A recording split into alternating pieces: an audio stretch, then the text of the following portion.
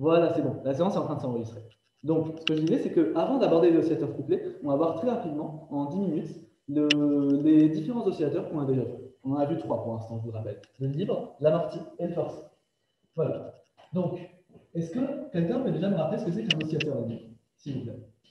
Que ce soit dans le chat ou bien à l'oral. Qu'est-ce que c'est la définition d'un oscillateur libre? On va faire ça très rapidement.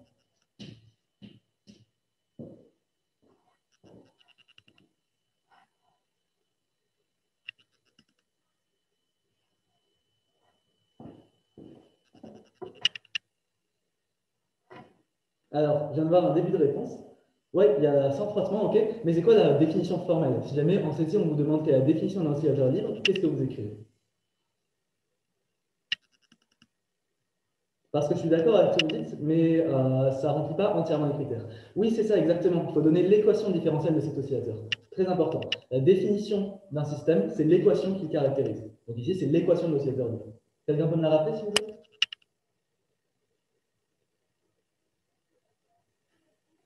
J'accepte juste une personne dans la file d'attente. Hop là. Donc, comme, comme, on a dit, au départ, il faut qu'on parle de son équation. C'est ça qui va, qui va être sa définition.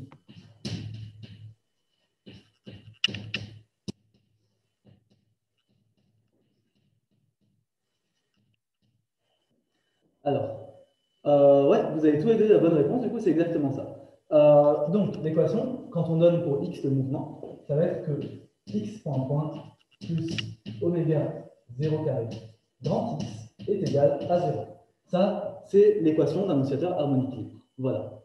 Euh, ensuite, on a, donné, on a réussi à trouver les solutions de cette équation. On a vu que comme on avait une fonction qui, quand on a dérivé deux fois, ça, deux fois, ça restait la même avec un signe moins pour se compenser, eh bien les fonctions cosinus fonctionnaient. Et donc, on a dit qu'on pouvait écrire que x était égal à a cosinus de oméga 0t plus voilà. Ou bien, une autre façon équivalente de l'écrire, c'est A cosinus de oméga 0t plus B sinus de oméga 0t.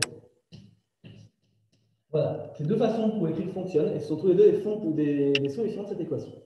On avait, trouvé, on avait déjà étudié un exemple simple de ce système. C'était, par exemple, un ressort qui est attaché par le haut Enfin, une masse est accrochée à un ressort qui est lui-même fixé au plafond et qui est aussi sans frottement. Il y a plusieurs personnes ici qui m'ont dit ont, souligné l'absence de frottement, et c'est vrai, c'est ça qui caractérise un oscillateur Voilà, donc ça c'est un exemple par exemple de système qui est un système harmonique.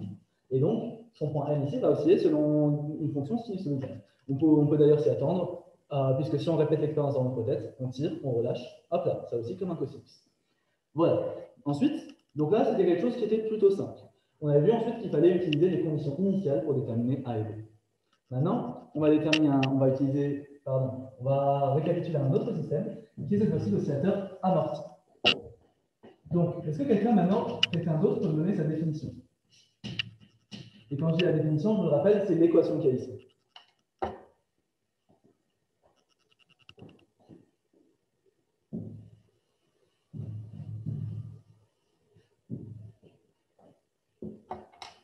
Donc, un oscillateur libre, enfin un oscillateur amorti.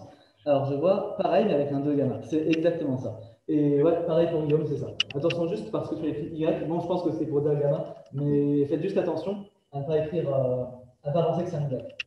Alors, donc on réécrit exactement la même équation comme vous l'avez vu. Sauf qu'ici, on va rajouter un facteur 2 gamma qui en fait représente les fois qui sont proportionnels à la vitesse, donc x plus oméga 0 carré x est égal à 0. Équation d'un oscillateur amorti. Voilà. On avait ensuite trouvé ces solutions. Pour ça, on avait cherché les solutions de la forme exponentielle. Et on avait vu qu'il y avait trois solutions différentes. Donc, on va les appeler xh. Elles sont égales soit à a cosinus de oméga 0t, pardon, de oméga t, c'est un autre oméga, tout ça modulé par une exponentielle, c'est ça la grande nouveauté, exponentielle moins gamma Voilà, on avait vu que dans ce cas, on allait avoir une sinusoïde décroissante. Et ensuite, on avait vu qu'il y avait également deux autres solutions qui étaient possibles, qui dépendaient en fait du signe du discriminant de l'équation caractéristique de cette équation. Est-ce que quelqu'un peut me rappeler les deux solutions qui restaient ici?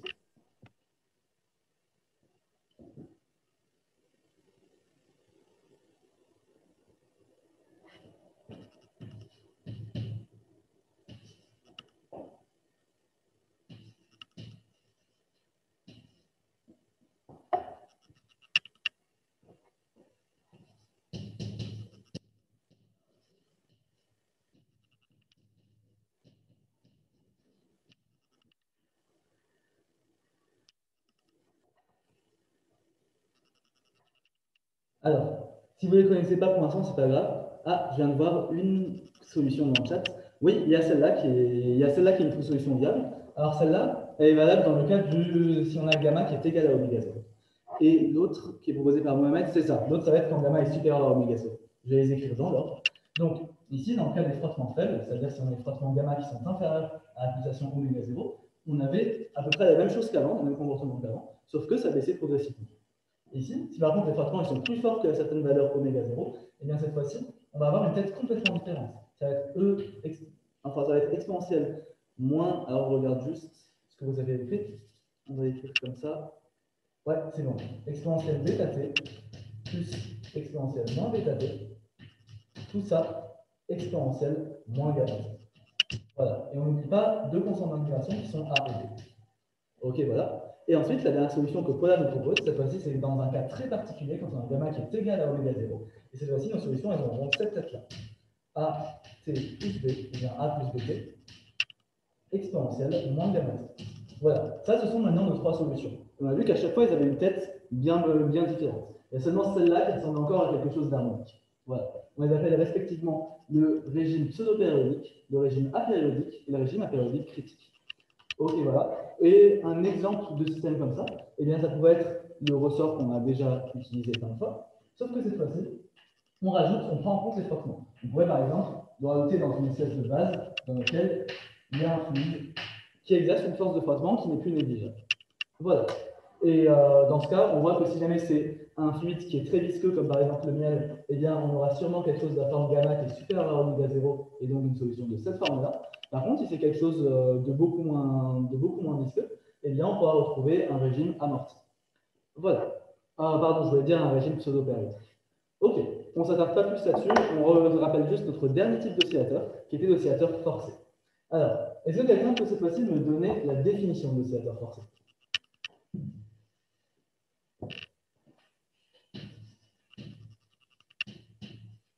Donc, la définition, c'est-à-dire l'équation différentielle qu'il caractérise. C'est pareil, mais avec une force en plus. C'est exactement ça. En général, la force qu'on prendra, ça sera une force oscillante. On pourrait dire par exemple que c'est F0 sinus de oméga S. Voilà. Ok C'est plus égal à 0 exactement. Voilà. Et du coup, là, ça va poser encore plus de complications pour résoudre cette équation. Maintenant, on va, avoir, on va devoir résoudre une équation avec second membre. Ça, dans notre cours de maths, on a vu que pour la résoudre, il fallait d'abord trouver la solution homogène à notre équation qui est celle qu'on a écrite ici, XH pour les oscillateurs amortis. Et ensuite, on devait trouver une solution particulière. Donc la solution homogène, ça tombe bien, on a déjà trouvé pour l'oscillateur amorti, on a ces trois solutions. Et ensuite, pour trouver la solution particulière, qu'est-ce qu'on avait fait? Eh bien, on avait cherché une solution de la forme, enfin on s'était plongé dans les complexes, puis après on avait cherché une solution de la forme d'une exponentielle. Est-ce qu'on peut avoir un forcé mais sans frottement euh, Je réponds à cette question juste après. Je finis, j'écris d'abord mon équation, puis après je réponds à cette question qui est très intéressante. Donc, les solutions, cette fois-ci, ça va être ça. On va voir que x est égal à xh, donc qui est le même xh que ici, plus alpha cosinus d'un certain oméga st plus psi. Avec alpha et psi, qui cette fois-ci ne sont pas des constantes, enfin ça ne peut pas prendre n'importe quelle valeur comme on avait dans ce cas-là ou dans le cas de l'oscillateur libre, cette fois-ci elles ont des valeurs bien définies. On avait trouvé que A était égal J'espère que mal à ressortir par cœur. F0 sur M avec M la masse du système, racine de oméga 0 carré moins oméga S carré. Tout ça au carré. Plus 4 gamma carré. Il me semble que c'était ça. Voilà. De toute façon, il ne faut pas que vous les appreniez par cœur. Et en deuxième, on avait quoi? On avait que psi, le déphasage, était égal à arc tangente je vais faire attention à ne pas aller trop loin. Attendez, plus bas. On avait ensuite que psi était arc tendance de 2 oméga s fois gamma sur racine d'un certain truc que j'ai complètement oublié. Voilà. Donc, ça, c'est pas quelque chose qu'il faut vous reteniez par cœur. En fait, il y a cette solution, les solutions XH, donc celle de l'oscillateur amorti, que je vous encourage vivement à redémontrer par cœur, même si vous ne savez pas les démontrer. Attendez, on voit mal. Voilà, ça vous apprenez par cœur. Mais ce qui est ici, ces deux trucs-là, vous ne les apprenez pas par cœur et essayez plutôt de voir comment les redémontrer. C'est quelque chose qui est très important. Euh, voilà. Mais si vous apprenez ça par cœur, ça ne va vraiment pas le faire. Euh, surtout que la, force, la, nature de la force ici peut changer en fonction du problème qu'on vous demande. Voilà. Euh, pour répondre à la question de Mohamed, est-ce qu'on peut avoir un oscillateur forcé mais sans frottement? C'est possible, oui. Ça a une tête un petit peu bizarre. Et en fait, on va avoir le 4 gamma carré ici qui va disparaître. Mais c'est quelque chose qui est carrément possible. Et par contre, je ne sais pas vraiment comment ça se comporte de manière physique dans la vraie vie. Voilà.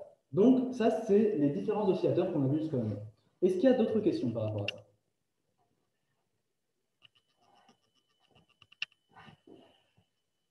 Ok.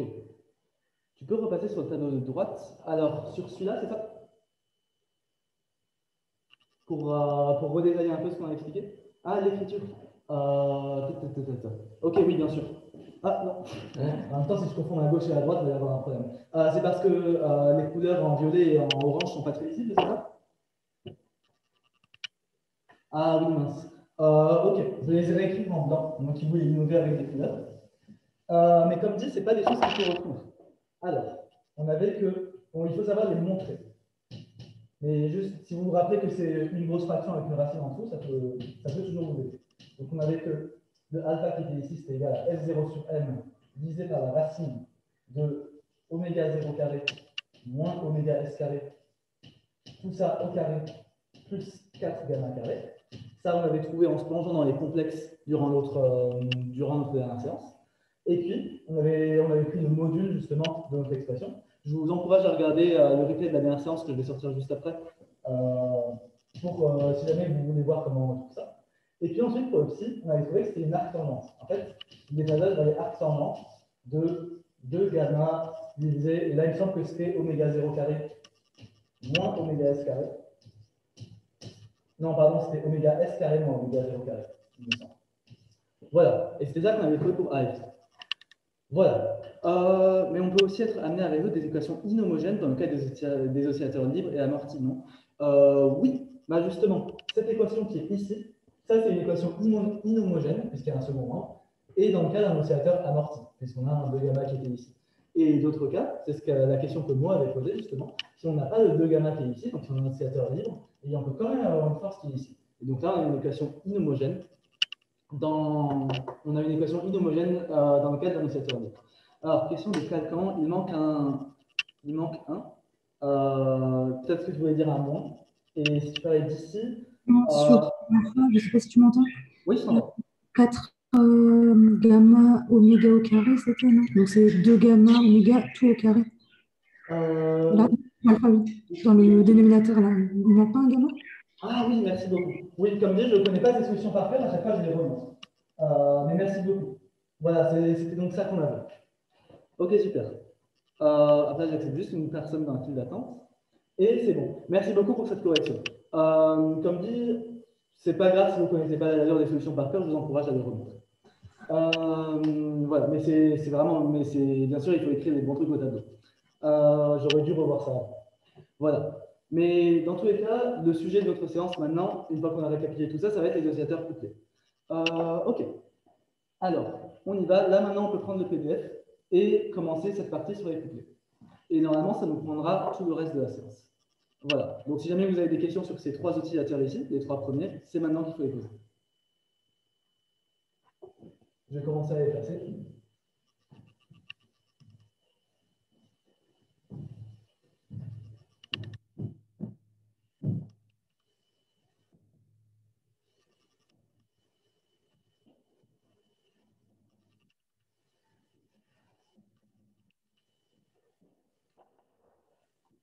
Alors, on y va. Donc, les oscillateurs couplés, là on est à la fin de la page 1. euh, ils vont se présenter souvent sous la forme du système, du système type qu'on va étudier maintenant. Donc, le système, qu'est-ce que c'est? Eh bien, on va avoir deux points M1 et M2, donc c'est plus juste un seul point M comme on avait avant, qui vont être séparés par deux ressorts. Ici, on a le point M1. Ici, on a un autre ressort qui lie M1 et M2. On appelle ça un ressort de couplage. Et ensuite, on a un autre ressort enfin qui est attaché à une deuxième extrémité. Voilà. On va aussi appeler pour plus de confort ça le point A, donc le point au départ, et ici le point B, le point où on est fixé à l'arrivée. Et on va supposer que les points, les points M1 et M2 sont tous les deux des points de masse M. Voilà, ils ont la même masse. Que les ressorts entre M1 et A et M2 et B sont de raideur K. Par contre, le ressort entre M1 et M2 va être de raideur grand K, qui est donc pas la même chose que K.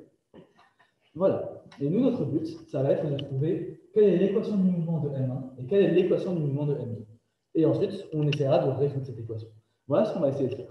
Si on a le temps, ensuite, on parlera également des phénomènes de base. OK. Euh, alors, on y va. Donc, je rappelle le but de notre problème, ça va être de trouver combien vaut x1 de t. Donc, ça veut dire le mouvement de m1 en fonction du temps. On va dire que x1, c'est le, ça représente la position de m1. Et x2 de t pour le mouvement de m2. Voilà, ça c'est ce qu'on va essayer de faire. Et vous allez voir que ça ne va pas être une partie de. Alors, donc, comment est-ce qu'on va faire ça? Eh bien, la première chose qu'on va faire, c'est établir les équations différentielles du mouvement, comme à chaque fois finalement. Et comment est-ce qu'on établit les équations différentielles du mouvement? Eh bien, on utilise la méthode dynamique, comme ce qu'on a fait aussi à chaque fois. Voilà. Ici, il y a juste quelque chose qui va être beaucoup plus compliqué. Si jamais vous avez déjà essayé de le faire, vous voyez de quoi je parle. En fait, les forces de rappel ici, ici et ici ne sont pas du tout faciles à exprimer. Du coup, quelque chose qui m'a semblé judicieux de faire, c'est de prendre un petit peu de temps pour réexpliquer comment on calcule une force de rappel. Parce que ça, c'est quelque chose qui pose problème à beaucoup de monde, moi y compris. Du coup, une formule claire pour la force de rappel, ça va être quelque chose qui va beaucoup nous aider. Ok, donc, partie 1.2, on va préciser comment fonctionne la force de rappel. Je vous ai donné ici une expression qui fonctionne tout le temps. Imaginons qu'on ait un point M et qu'on ait un ressort qui soit, qui soit attaché à un ressort. Et que ce ressort soit lui aussi attaché à un point A. Donc, c'est-à-dire qu'on aurait la situation comme ça. On a un point A, on a un point M qui est attaché au ressort. C'est le ressort à une valeur K. Voilà. Alors, je regarde juste sur Zoom. Longueur du ressort moins longueur à vide euh, fois K. Ouais, donc là, tu as donné, vous avez énuméré les, les fois moins 1. oui, vous avez tout donné, vous avez donné les, tous les éléments, c'est ça. C'est tous les éléments qui les caractérisent, mais maintenant, il faut voir comment on les juxtapose. Et oui, c'est ça, c'est la loi de Hooke. Voilà. Euh, c'est vrai que ça s'appelle comme ça, ouais. Alors, la formule générale, donc c'est un condensé de tout ce que vous avez vu. En fait, la force de rappel qui s'exerce sur M, on va l'écrire comme ça. F A M. Hop là.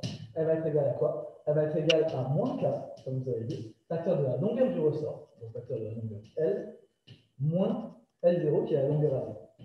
Voilà. Et tout ça, dans quelle direction? Eh bien, ça va être dans la direction du vecteur UAM. Voilà. Sachant que UAM, c'est le vecteur unitaire qui va de A vers M. Je vais dessiner un petit peu toutes les longueurs dont on a parlé. On a la longueur L qui est la longueur du ressort, comme ça. On a L0 qui est la longueur à vide. Et on a UAM qui est le vecteur qui va de A vers M. Le vecteur unitaire. Voilà, donc il fait quelque chose comme ça. Voilà donc pour l'expression générale d'une force de rappel. Alors, je regarde juste. Ah oui, oui, voilà. Euh, ok, donc ça c'est l'expression générale d'une force de rappel. Ici, on va s'en servir pour calculer les différentes forces qui vont s'exercer ici. Pourquoi? Est-ce que pour moi c'était important qu'on le récapitule Parce que ici, chaque point, M1 et M2, est attaché à deux ressorts. Donc finalement, il va y avoir quatre forces de rappel qui vont s'exercer sur notre système.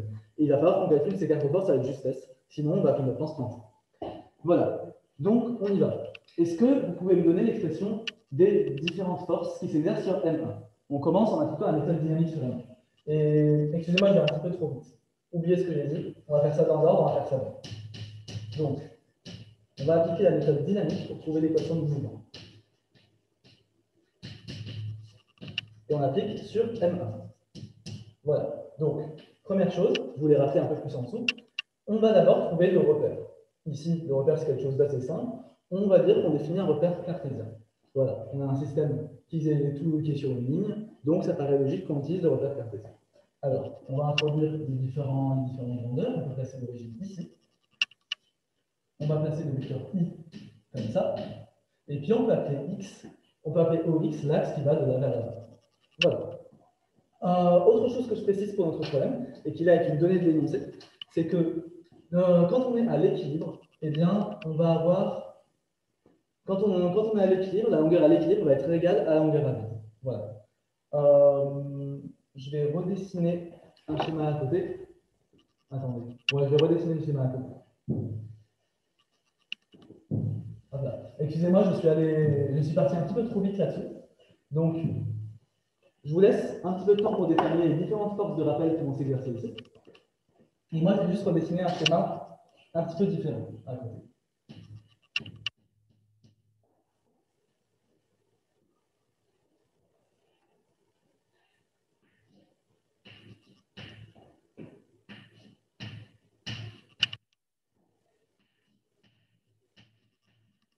Voilà, donc ça, c'est notre situation à l'équilibre.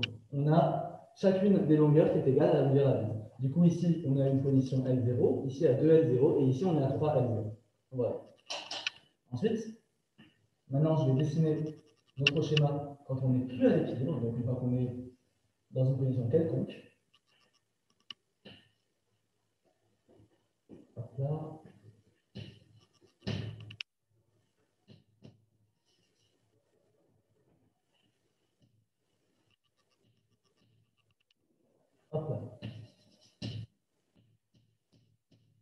Voilà, donc quand on est dans un mouvement quelconque, qu'est-ce qu'on va avoir? On va toujours avoir la position L0 qui est ici.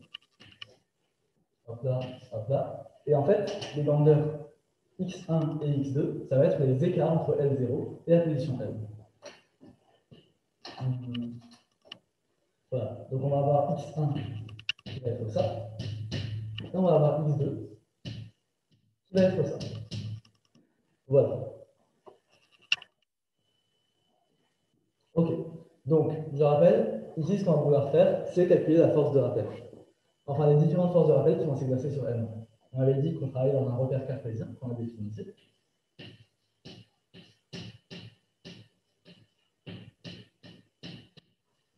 Ensuite, la deuxième étape, c'est bien le calcul des forces.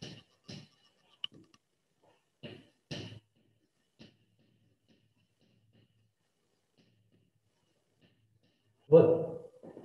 Alors, est-ce que quelqu'un a trouvé les différentes forces qui s'exerçaient sur M1 et pourrait me les exprimer?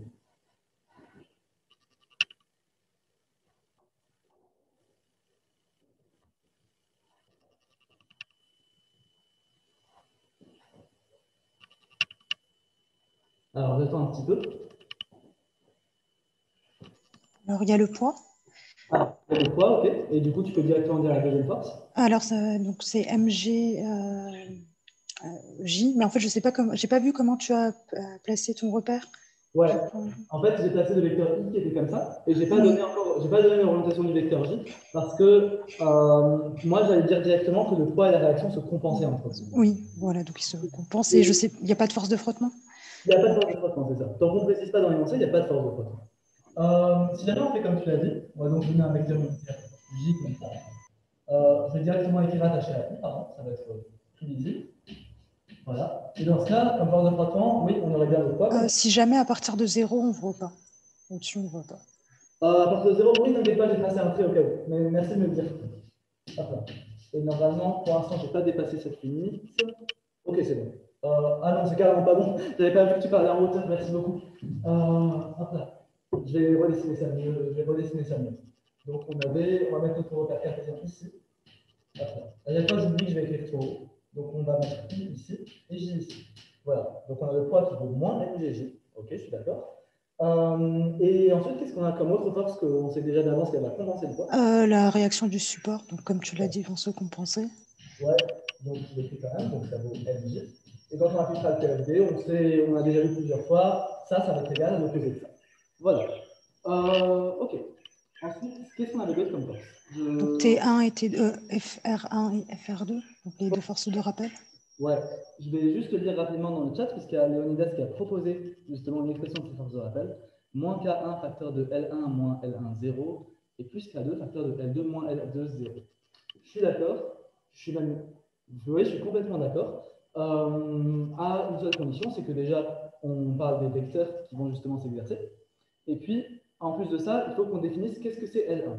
Il faut qu'on exprime tout ça en termes de x1 et x2, puisque je vous rappelle que nous, notre objectif, c'était d'exprimer combien vaut x1 et combien vaut x2. Sachant que x1 et x2, ce sont des coordonnées qui sont ici. Voilà. Donc, je vais les écrire. Euh, est-ce que, normalement, on voit tout ce qui est ici. Donc, on avait la première force de rappel qui était égale, donc c'est celle qui va s'exercer de, A, enfin qui va s'exercer sur M1 par le point 1. Et celle-là va être égale à moins K facteur de L1 moins L0, avec L1 qui est la longueur de ressort. Et tout ça selon le vecteur OK.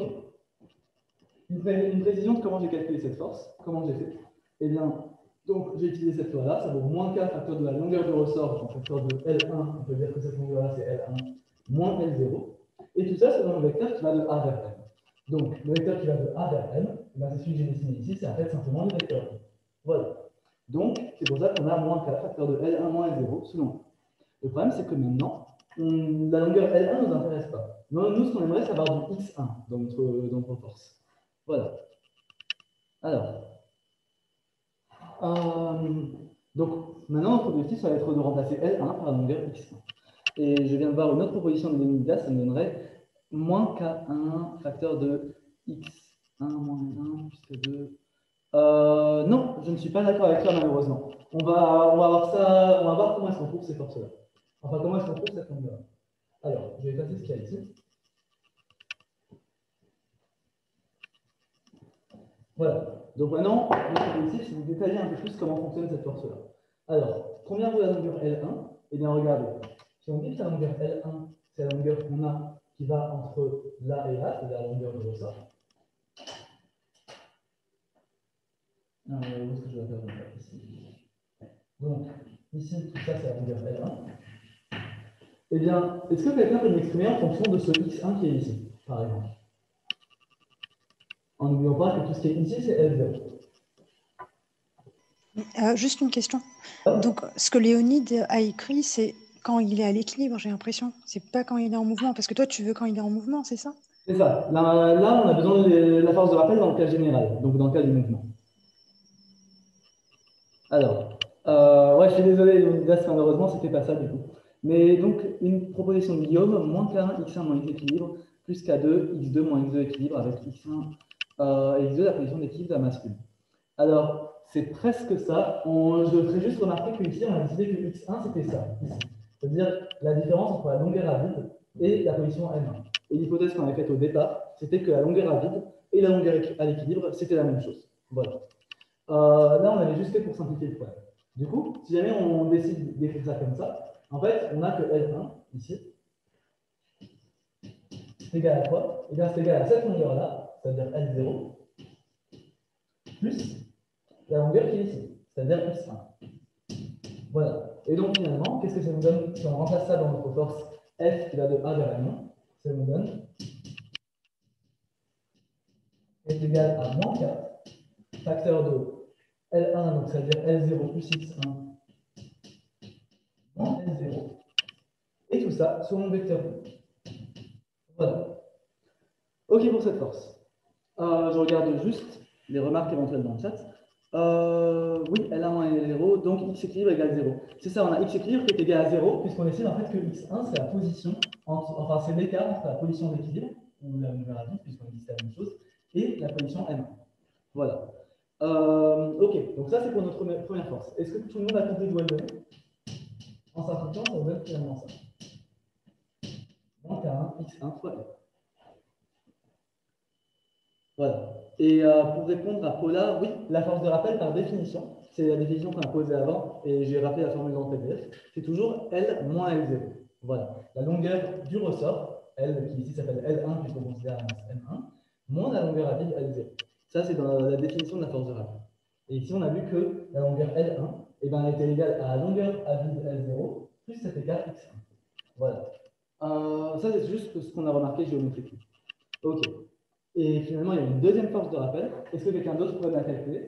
Elle est plus compliquée, c'est celle qui s'exerce maintenant cette fois-ci par le deuxième point.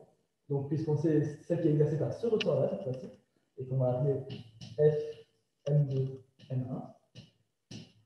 Donc ça, c'est la deuxième force de rappel qui s'exerce. Est-ce que quelqu'un peut me dire comment elle s'écrit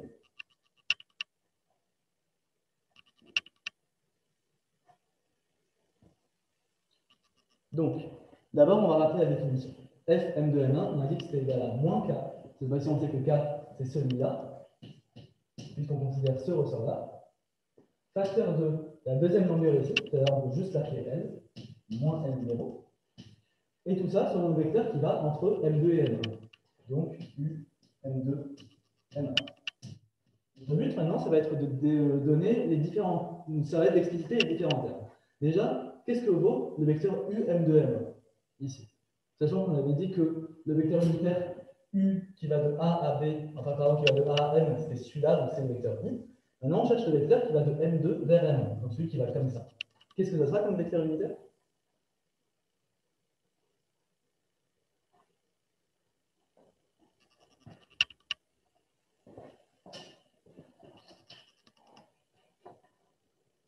C'est ça, exactement. La réponse de Leonidas, c'est que ça sera le vecteur moins.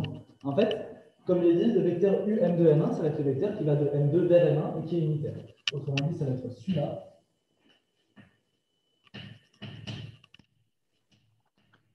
Voilà. Et donc, c'est exactement l'opposé de ce vecteur-là. Donc, ça sera le vecteur moins. Et ensuite, ouais, on a le moins qui va s'aligner avec le moins K qui est ici. Ça va donner quelque chose de positif. C'est exactement ça.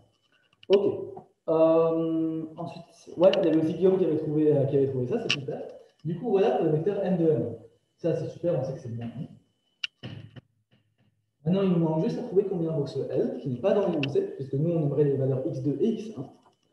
Euh, donc, est-ce que quelqu'un peut me trouver la longueur L à l'aide justement du même raisonnement que ce qu'on avait fait avant? Donc, on essaie de l'exprimer en fonction de x2 et de x1. Tout à l'heure, on avait dit pour L1 que ça va aller ce truc-là plus ce truc-là. Voilà. Maintenant, on aimerait faire la même chose avec notre L qui est ici.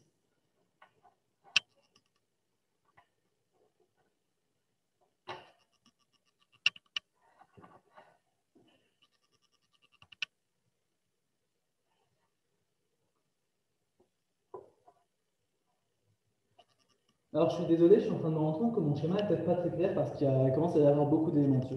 Est-ce qu'il y en a qui aimeraient que je le refasse de, que je le refasse de manière forte Si jamais vous avez du mal à trouver justement la longueur qui nous intéresse ici, c'est-à-dire la longueur L.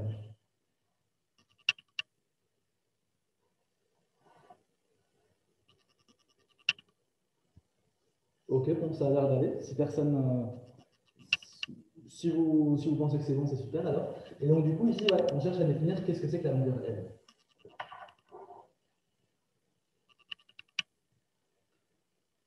Bon, ok, super si tu trouves que ça va alors. Parfait. Parce que moi, je commençais à m'embrouiller un peu dessus, mais si vous ne vous embrouillez pas, tout va bien. Donc, la longueur L, c'est bien la longueur qui est ici. Combien elle est On va voir ça ensemble, du coup. En fait, elle sera égale à ce truc-là, moins ce truc-là. On pourrait dire ça comme ça. Voilà, je répète, la longueur L qui est ici, elle serait égale à cette longueur-là, moins cette longueur-là. Euh, excusez-moi, je me suis envoyé dans mes je vais faire ça mieux. N'oubliez pas, tout ce qu'on cherche, c'est la longueur entre M1 et M2, c'est ça que ça veut dire. Hop là, et hop là. Donc nous, la longueur L qu'on cherche, c'est celle-là. Voilà. Donc, on cherche cette longueur-là. Et cette longueur-là, sera égale à cette longueur-là, moins cette longueur-là. Voilà, c'est ça que je voulais dire. Donc, d'abord, qu'est-ce qu'elle vaut cette longueur-là? Est-ce que quelqu'un peut me dire ce que vaut cette longueur-là en termes de, en termes de L0 et de, X1, de X2, de tout ce que vous voulez qui est dans l'énoncé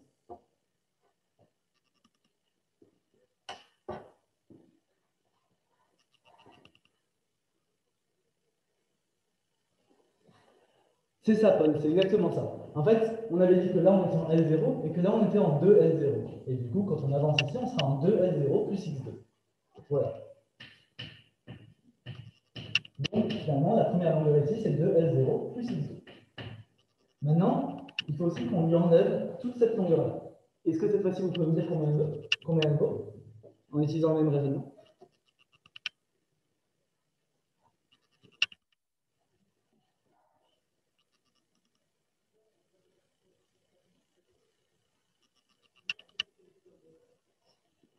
Donc, je répète, là, c'est juste cette longueur-là qu'on cherche maintenant. Voilà, comme ça, on fera ça, moins ça, et on aura bien trouvé ça.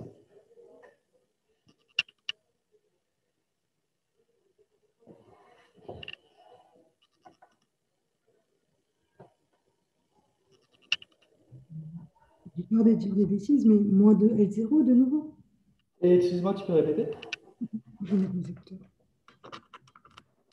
Tu m'entends mieux là? Ah, je t'entends mieux, ouais. Euh, c'est de nouveau moins 2 L0 du coup Je ne sais pas, ça me paraît Ah, bizarre. tu parles de cette longueur-là, c'est ça? Oui, Alors attention, regarde, quand on va de là à là, ça va juste faire L0, ok? Ok. Voilà, et ensuite, ici, ça fait combien? X. Ça fait X1. Ah, Ça fait X1 plutôt. X.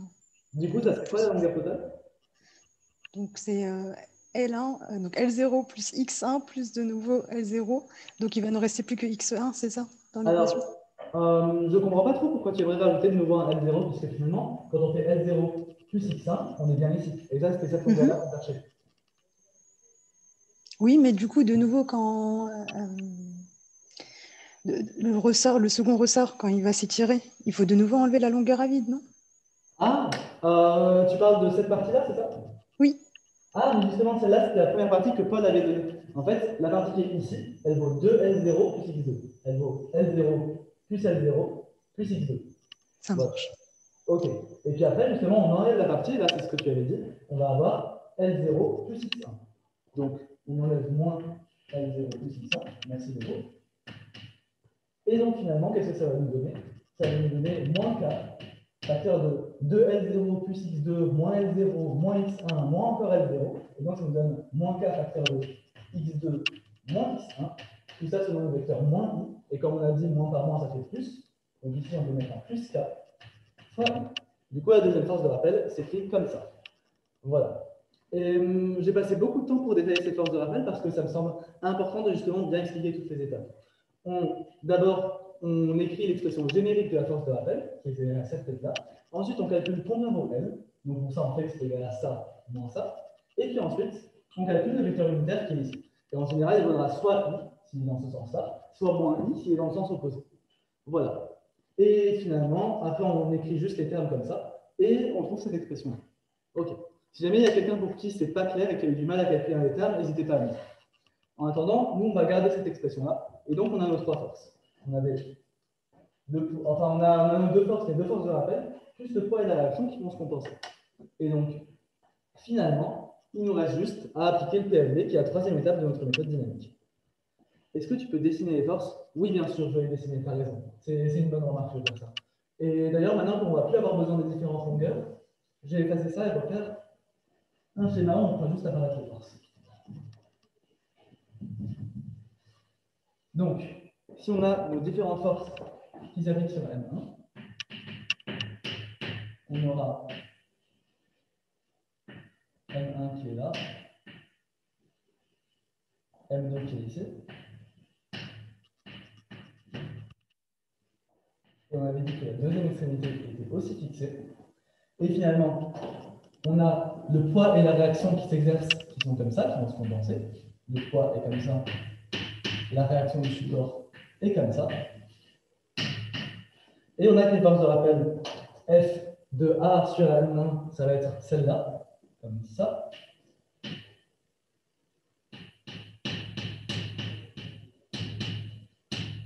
On voit bien est dans ce sens-là, puisqu'on avait un moins k x fois le vecteur i. Le vecteur i, c'était le vecteur de la base cartésienne. Et ensuite, on a notre deuxième vecteur, qui cette fois-ci, c'est f m2 m1. Et celui-là, il, est, il vaut k facteur de x2 moins x1 sinon. Donc lui, il est comme ça cette fois-ci. Voilà. Euh, donc là, c'est les différentes forces qui s'exercent sur notre point M1. Maintenant, donc, je vais juste les réécrire ici, et on va appliquer la troisième étape, qui est le PFD. Alors, est-ce que quelqu'un veut bien me faire le PFD pendant que je réécris? Et me donner l'expression trouve J'ai pas trop compris le x2 moins x1. Ok, on va le redétailler alors. Euh, c'est quelque chose qui n'est pas facile à comprendre, et euh, donc euh, on, va, on va insister dessus. On va bien insister dessus. Je réécris juste les formes. On avait f a euh, pardon, f a m1 qui était égal à moins 4 x1 i. On on avait que F M1, enfin pardon, M2 M1, c'est égal à grand K, facteur de X2 moins X1, selon. Voilà. Alors, pour les forces, ce qu'on avait fait, c'est qu'on a d'abord utilisé la définition générique de la force de rappel, celle que je vous ai donnée avant, et que vous pouvez retrouver dans le PDF. On dit que la force entre M2 et M1, ça va être égal à moins K, donc le K qui est la constante de raideur de notre ressort, facteur de L, la longueur du ressort, moins L0, et tout ça selon le vecteur U, M2, M1. Voilà. Le vecteur U, M2, M1, qu'est-ce qu'on a dit? On a dit que c'était le vecteur qui allait aller de M2 ici vers M1, et qui était le vecteur unitaire. Ici, comme on avait décidé que U, c'était comme ça, et bien on va avoir que U, M2, M1, ça va être moins U, puisque c'est le vecteur unitaire qui est opposé. Voilà, donc on a écrit que U, M2, M1, c'était moins U. Et maintenant, il nous reste juste à écrire la longueur L en termes de termes qu'on connaît, puisque L, c'est juste quelque chose qu'on a posé dans notre tête, on a dit que c'était la longueur du ressort, mais nous, on aimerait l'écrire avec les termes X1 et X2 qui font partie du problème. Et donc, pour ça, on utilise le fait que L, ça va être égal à cette longueur-là, moins cette longueur-là. Cette longueur-là, on avait dit que c'était égal à 2L0 plus X2. Pourquoi? Puisqu'à l'équilibre, on avait L0, 2L0, 2L0 plus X2. Voilà, donc on avait 2L0 plus X2 qui faisait toute cette longueur-là. Et maintenant, on enlève la longueur qui est en trop, c'est-à-dire celle-là. Puisque nous, ce qu'on veut, c'est toute cette longueur-là. Donc on enlève ça. Et ça, qu'est-ce que ça vaut? Eh bien, pareil, là, ça vaut L0, L0 plus X1. Puisqu'on a dit que X1, c'était le truc qui nous manquait, passer de L0 jusqu'à ici. Donc, finalement, on a 2L0 plus X2, le premier terme, moins, entre parenthèses, L0 plus X1. Voilà. Finalement, on calcule tout ça, ça nous fait. Et on garde le moins L0 qu'il y avait au départ, bien sûr. Et donc, ça nous fait 2L0 plus X2 moins L0 moins X1 moins L0. On calcule, ça nous fait X2 moins X1. Et finalement, on trouve cette force de rappel. Voilà. Euh, ouais, euh, X2, X1, c'est l'énoncé. L'énoncé, en fait, l'énoncé ici nous dirait que X2 et X1 sont les écarts entre les positions entre les points M1 et M2 et leur longueur à. X1, c'est l'écart entre M1 et sa longueur à vide F0. X2, c'est l'écart entre M2 et sa longueur à vide euh, et sa longueur à vide à vide. Voilà. Euh, ok, voilà. Est-ce que c'est plus clair? S'il y a quelqu'un d'autre qui a un souci avec cette force de rappel, dites-moi aussi, on... dites-moi ce qui, dites ce qui, est Comme on sait pour le 2L0, euh, ça justement, c'était l'hypothèse qu'on avait faite au départ. On avait dit, et c'était pour ça que j'avais dessiné un schéma juste au-dessus. En fait, ça nous disait que quand on est à l'équilibre, les longueurs L0, enfin les longueurs à l'équilibre, ça va être égal aux longueurs L0. Du coup, ça veut dire que quand on est à l'équilibre, on va avoir cette longueur-là qui vaut L0, cette longueur-là qui vaut 2L0. Enfin, on va avoir, là on sera à L0, là on sera à 2L0, là on sera à 3L0. Voilà. Puisqu'on a dit qu'on avait les trois mêmes longueurs à vide et que comment dire, et, euh, et qu'à l'équilibre, c'était égal à leur longueur à l'équilibre. Voilà. Euh, et donc finalement, comme ici on est en 2L0 de base, eh bien, ça va dire que quand on écarte le point M2, on sera en 2L0 plus X1. Voilà. Et de même, ici, comme on est en L0 de base, eh bien, si on écarte le point M1, on sera en L0 plus X1. Voilà. Mais ce n'est pas les mêmes ressorts, du coup, pas les mêmes longueurs à vide. Justement, c'est pour ça que cette hypothèse est un peu forte. On peut avoir deux ressorts qui sont différents et quand même avoir des mêmes longueurs à vide. C'est quelque chose qui est possible. Euh, je répète, même si nos ressorts n'ont pas les mêmes constantes de raideur, on peut supposer qu'ils ont les mêmes longueurs à vide L0. C'est une hypothèse qui est un peu forte, mais là, c'est l'énoncé qui nous dit. L'énoncé nous dit que les ressorts, ils ont les mêmes longueurs à vide L0. Mais je suis d'accord avec toi, c'est une hypothèse dont on aurait pu se passer et qui n'est pas forcément vraie. Voilà. Donc, je, je répète une dernière fois, ici, les trois ressorts ont la même longueur à vide L0. C'est pour ça qu'à l'équilibre, ici, on est à la condition L0, ici, on est à la condition 2L0, L0 plus L0, et ici, on est à la condition 3L0. Voilà. Euh, J'espère que c'est plus clair. Et, euh, mais si on a compris, c'est toujours pas clair, bien sûr, euh, bien sûr, dites-moi. C'est un, un, passage qui est important, et je pense que c'est le plus important en fait dans les agitateurs couplés. C'est de bien comprendre d'où vient cette force de rappel. Euh, moi, je peux juste poser une dernière question. Oui, tu sais, euh, quand, on est, donc, quand on travaille comme ça, donc on va travailler juste sur un point, c'est-à-dire, donc là, il y a plusieurs forces qui vont avoir lieu sur les trois ressorts. Mhm. Mais là, nous, quand on va étudier le système, on va par exemple juste étudier le système sur le point M1. C'est ça? C'est exactement ça. En fait, le PFD, qu'est-ce qu'il nous dit? Il nous dit que la somme des forces qui s'exercent sur un point est égale à la masse fois l'accélération de ce point. C'est pour ça qu'au départ, on étudie juste les forces qui s'exercent sur M1. Voilà. Euh, et puis après, on fera la même chose avec M2. et ça nous fera deux PFD différents. Perso, ce n'est pas clair pour moi. En plus, dans mon cours, il y a écrit technique de diagonalisation. La diagonalisation, c'est autre chose qui sert dans, quand, on, quand on recherche les modes propres. On parlera après, si tu veux, de la diagonalisation, mais euh, ce n'est pas quelque chose que tout le monde a vu pour l'instant. Donc, pour l'instant, on ne va pas tout de suite en parler. Euh, ok. Parce que je vais juste écrire le PFD qui est ici. Et puis après, on, repassera sur forces de rappel. Puisque je pense que si toi, tu ne l'as pas compris, il y a plein d'autres personnes qui ne l'ont pas compris et qui n'osent pas forcément le demander. Et euh, c'est quelque chose qui est vachement important. Je suis désolé, je me suis peut-être un petit peu embrouillé quand j'ai expliqué au départ, je suis allé un peu trop vite. Mais euh, vous inquiétez pas, on va remédier à ça. Donc, ici, on avait trouvé ça comme deux forces de rappel. Du coup, maintenant, il faut qu'on fasse le PFD. Est-ce que quelqu'un veut bien prendre la parole à l'oral pour me dicter le PFD qu'on va faire? C'est donc notre troisième étape. Il y avait aussi les deux forces, le poids et la réaction qui étaient. On a vu qu'elles se compensaient, donc je n'ai pas pris la peine de les écrire. On a déjà l'habitude de. On sait déjà comment les écrire, voilà. Voilà. Est-ce que quelqu'un peut me dire le PFD que ça va donner tout ça? Euh, Je commence du coup, s'il Ouais, personne. euh, je veux bien, ouais. Petit, moins petit k x1, Euh, j'enlève les vecteurs unitaires. Euh, ouais, tu peux le faire, ok. Donc plus euh, grand k facteur de x2 moins x1 est égal à m euh, fois l'accélération, donc mx point point. C'est ça. Et ici, quand on parle de l'accélération du point M1, on va dire que c'est M x point point 1. Ouais. Ok, merci. Donc ici, c'est le PFD, plus la, et en plus de ça, on a fait la quatrième étape projection directement. Voilà. C'est-à-dire qu'on a directement vu que tout était selon le même vecteur, du coup, on a supprimé tous les vecteurs i. Et donc, on a trouvé cette équation-là, qui finalement va être notre première équation. Ok. Cette équation, pourrait avoir l'air plutôt simple en apparence, puisque on n'a pas de, on on n'a pas de force extérieure, tout va bien. Il y a juste un petit hic, c'est que l'équation de x1 dépend aussi de x2. Et c'est ça qui a un gros problème. L'équation de x1, en fait, est couplée avec l'équation de x2. Maintenant, on va faire la même chose avec le point x2 et ça va nous donner une autre équation. Alors, juste n2x est égal à moins k1, 2. Hum, si j'ai bien compris, là, tu, as réécrit le PFD. Euh, et du coup, ouais, c'est ça, c'est la bonne réponse. Du coup, c'est ce qu'avait dicté Réplica. Super. Euh, du coup, maintenant, on va faire la même chose avec le deuxième point 2. On va aller un peu plus vite. On va quand même, euh, on va quand même rappeler comment on, fait comment on détermine les forces de rappel, sans mauvais jeu de mots. Alors, voilà ce que ça va nous donner. Donc là, on a appliqué la méthode dynamique sur M1. On va réappliquer la méthode dynamique sur M2. Première étape, repère. Ah, ça, c'était pour le second point. Ok, d'accord. Ben, on, va, on va montrer rapidement comment on arrive à ça. Première étape, repère. La même chose, on garde le repère cartésien. Deuxième étape, les forces. Là, on va détailler tout ce qu'on a. Donc, méthode dynamique pour M2.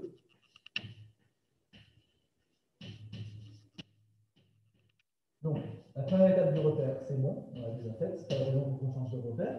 Deuxième étape, les forces. Donc, est-ce que quelqu'un peut me dicter les deux forces de rappel qui vont s'exercer sur M2 Celle exercée par ce ressort-là, de raideur K, et celle exercée par ce ressort-là, de raideur grand K. Donc, la première, on avait dit que ça, on appelle ça le point B. La première, ça va être euh, la force. On va commencer par celle-là, d'accord? Donc, la force que M1 exerce sur M2. Est-ce que quelqu'un peut me dire ce que c'est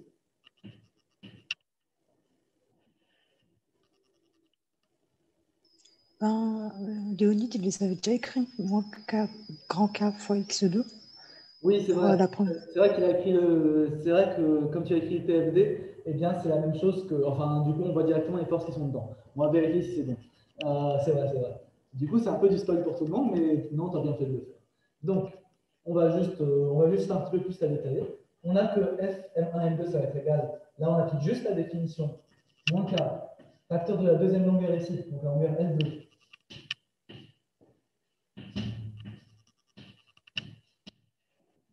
moins L0 qui est la longueur à vide, tout ça selon le vecteur U qui va de M1 vers M2. U, M1, M2. Voilà. Qui est celui-là. Ah mince, c'est vrai qu'on ne va pas quand écrit trop haut. U, M1, M2.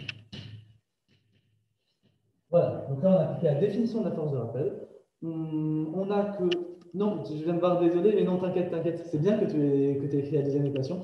Et je vous encourage à chercher de votre côté. Parfois, je mets un peu de temps pour décrire les choses. Et donc, si vous voulez faire les calculs de votre côté, n'hésitez surtout pas. C'est une très bonne chose. Euh, donc, on va déjà commencer avec UM1, M2. Donc, c'est le vecteur unitaire qui va comme ça. Et donc, c'est exactement la même chose que le vecteur Donc, c'est égal à moins k facteur de L2 moins L0 fois I. Excusez-moi, là, vous avez vu, une bêtise que j'ai faite, c'est que j'ai écrit, écrit petit k alors qu'on a dit que c'était grand k, la rigueur entre les deux. Donc, je vais juste corriger ça. Hop là, hop là. Voilà. Maintenant, il nous reste juste à trouver combien vaut L2. Et pour trouver combien vaut L2, eh bien, on va faire comme avant, on va mesurer les différents écarts. L2, c'est donc la longueur qui est ici. Et ça, par définition, ça va être égal à tout ça, moins tout ça. Voilà. Est-ce que quelqu'un peut me dire rapidement combien ça fait tout ça? 3 L3, L0. Voilà. 3 L0. Exactement. On avait dit qu'à l'équilibre, on était sur les euh, longueurs à vide. Donc on a L0 plus L0 plus L0. On est à 3 L0. Ça fait moins K facteur de 3 L0. OK Maintenant, on enlève ce truc-là. On va laisser parler quelqu'un d'autre. Est-ce que quelqu'un d'autre peut me dire combien vaut cette longueur-là Donc la longueur qu'on enlève, ça moins ça, combien ça vaut ça maintenant Ah oui, je viens de voir que Paul avait aussi trouvé pour le 3L0, super. Donc maintenant, on cherche cette longueur-là qui est vaut. 3L0 moins 2L0 moins X2, c'est exactement ça, ouais. Parce qu'en fait, ici on est en L0, ici on est en 2L0, et ici on est en 2L0 plus X2. OK?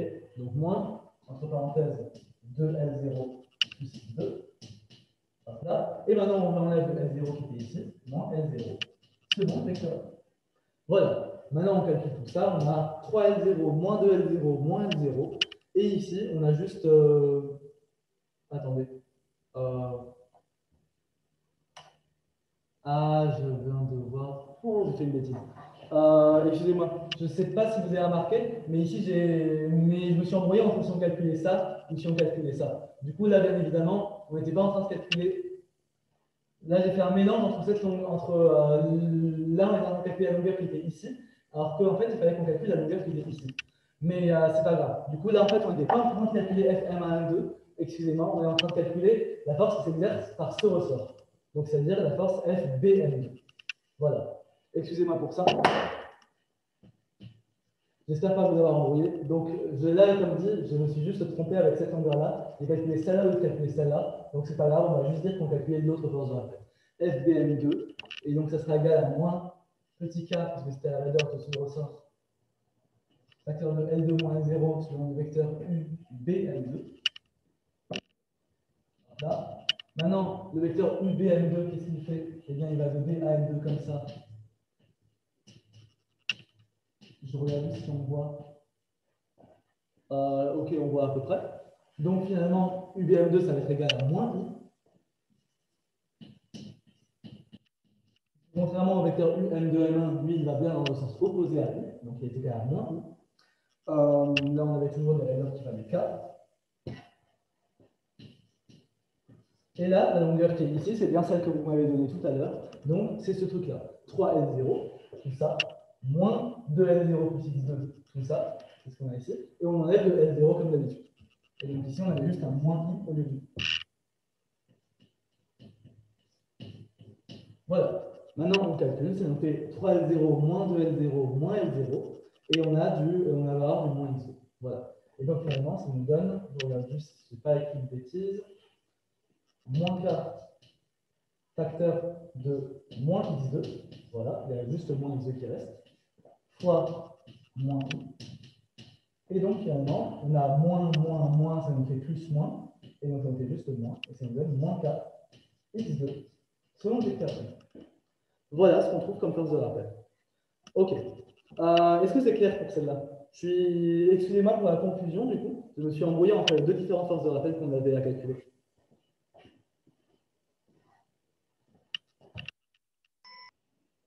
Moi, je me suis embrouillée un petit peu.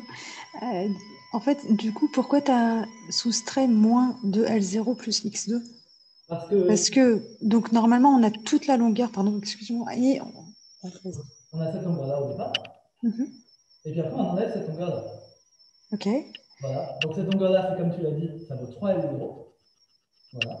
Et puis, cette longueur-là, en fait, elle vaut 2L0 plus X2. Pourquoi? Parce que là, on est en L0, quand on a l'équilibre. Là, on est en 2L0. Ah oui, oui, pardon.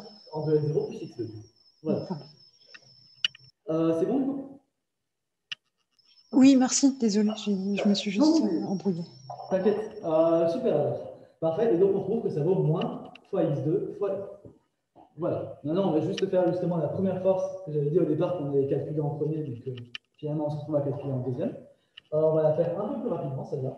Donc, c'est cette fois-ci F, M2, M1. Enfin, pardon, euh, la force, c'est F, M1, M2, puisque la force que, que ce point-là va placer sur, sur le ressort, enfin sur M2, comme on de Et donc, cette fois-ci, elle va être égale à quoi? Elle va être égale à moins grand K facteur de la longueur L, donc c'est-à-dire cette longueur-là, moins le ressort, euh, pardon, moins du coup la longueur à vide L0, tout ça sur le vecteur U, M1, M2. Voilà. Donc, on a que le vecteur U, M1, M2, il est égal à quoi? Eh bien, c'est celui-là, il est égal au vecteur I. OK Et on a maintenant la longueur L qu'on avait calculée avant, qu'on avait calculé à force de rappel. Et cette fois-ci, on avait dit qu'elle valait 2L0 plus X2, L0, 2L0, 2L0 plus X2, moins ce truc-là, donc c'est-à-dire moins L0 plus X1. Et finalement, ça nous donnait 2L0 plus X2, moins L0, moins X1, moins le L0 qui était ici. Et on trouvait que ça valait moins K, facteur de X2, moins X1, selon le vecteur. Voilà. OK. Et là, quelque chose que vous pouvez remarquer, c'est que cette force de rappel-là, elle vaut l'opposé de cette force de rappel-là. Et en fait, ça, c'est la loi, ça concorde avec la loi d'action-réaction qu'on a apprise, qui est autrement appelée la troisième de Newton, qui nous dit que F de M2, M1, c'est moins F de M1, M2. Voilà. Donc finalement, on est rassuré, on retrouve bien la même chose. Quand vous aurez des oscillateurs couplés, vous ne serez pas obligé de recalculer ça. Vous pourrez simplement utiliser la loi d'action-réaction pour dire que les deux forces sont opposées. Ok, donc là, on a trouvé nos deux forces. Et maintenant, on a juste à faire le PFD. Et donc là, on va juste réécrire l'équation que, euh, il me semble que c'était Léonidas qui nous avait donnée, mais je ne suis pas sûr. Euh, oui, c'est bien Léonidas, ok. Et le PFD, qu'est-ce qu'il nous donne ici? On va l'écrire Voilà, on n'a plus besoin de ça. Donc, quand maintenant on applique le PFD avec nos deux forces ici, ça va nous donner quoi? Ça va nous donner que F. Pardon, ça nous donne que F BM2 plus F M1M2, ça va être égal à la masse à l'accélération. Donc, autrement dit, on fait que moins K X2, première force de rappel, plus cette deuxième force de rappel, donc moins K facteur de X2, moins X1. Là, j'ai comme Réplica a fait tout à l'heure, c'est-à-dire que j'ai pas, j'écris pas les vecteurs U, on simplifie directement puisqu'on sait que c'est un seul axe. Ça va être égal à la masse fois l'accélération, x deux. Voilà, ça c'est notre deuxième équation.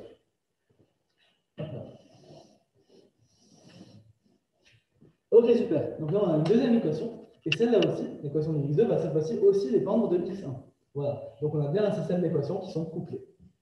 Hop là.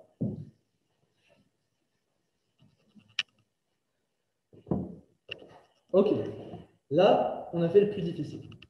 C'est-à-dire qu'on a, on a, on a fait ressortir toute la physique qu'il y avait dans notre problème. Et maintenant, on se retrouve juste avec un système de deux équations à deux inconnues qui va nous falloir résoudre. Là, maintenant, c'est donc la partie mathématique qui va intervenir. On a trouvé les deux équations du mouvement, qui était donc la première question. Et maintenant, la deuxième et dernière question, ça va être de résoudre ces équations mouvement. Ok. Donc, je les réécris juste. Et on va voir après comment on les. On avait donc que moins kx1 facteur de, enfin pardon, plus k facteur de x2 moins x1 est égal à m x point 1. Et ensuite, on avait en deuxième équation que moins k plus grand k facteur de x2 moins x1 est égal à m x point 1. Voilà. Ok. Maintenant, ce qu'on va faire, c'est une petite pause, stage réflexion. Donc, on va, ça fait une heure, on va se laisser cinq minutes pour souffler un peu, puisque là, on vient de mettre en équation notre problème, c'est pile la moitié de ce qu'on avait. Euh, en attendant, je vais, pour les personnes qui justement veulent encore continuer à réfléchir à ça pendant la pause, je suis là pour répondre à vos questions. Je vais juste aller boire un peu parce que ça, ça donne soif de parler. Et puis, et puis quoi d'autre? Et, puis pour les autres personnes qui ont compris et qui veulent quand même rester sur ce problème, j'aimerais que vous commenciez à chercher comment est-ce qu'on va faire pour résoudre ce système de deux équations. Comme on a dit, le problème c'est qu'elles sont couplées. Et on va voir, notre but ça va être de trouver comment est-ce qu'on va résoudre ce système malgré le fait qu'il soit couplé. Voilà. Vais juste écrire tout ça.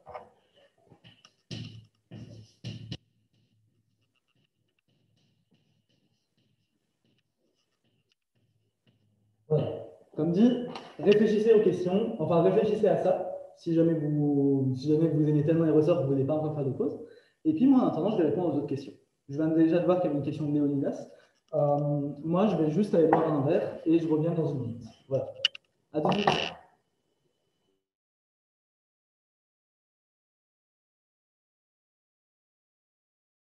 Pardon, pas tout de suite, tout de suite, parce que j'ai vu que, oui, en effet, je viens de voir une remarque de Maxime. Euh, non, c'était pas Maxime, c'était une remarque de Paula, qui avait bien un moins dans la deuxième équation. Merci beaucoup. On avait trouvé le moins comme deuxième force de rappel. Merci. Allez, j'y vais vraiment cette fois.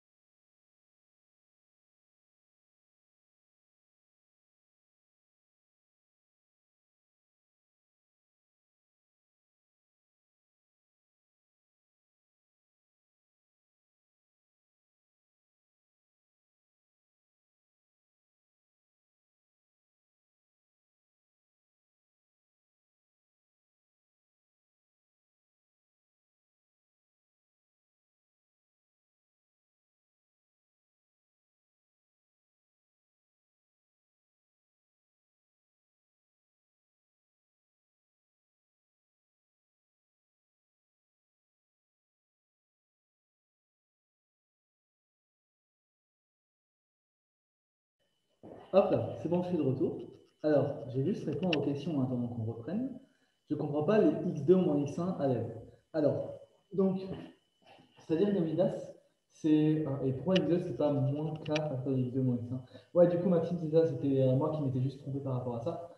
Euh, pour x2, oui, et, euh, puis voilà, merci beaucoup pour, euh, vos remarques. Et donc, Léonidas, si j'ai bien compris, le problème, c'est pourquoi est-ce qu'il n'y a pas mot. Enfin, pourquoi est-ce qu'on a du x2 moins x1 qui est ici, c'est ça? Allô? Ouais. Ouais, en fait, c'est pour euh, les x2 moins x1 de partout, de la première équation et de la deuxième équation. Ok, donc pour ces forces de rappel-là. Oui. Alors, je vais redessiner rapidement un schéma qui sera juste intervenir à la longueur cette fois. Après, on n'aura plus besoin de schéma puisque ça va juste être des maths, on va juste résoudre des équations. Alors, si on refait notre schéma, on va donc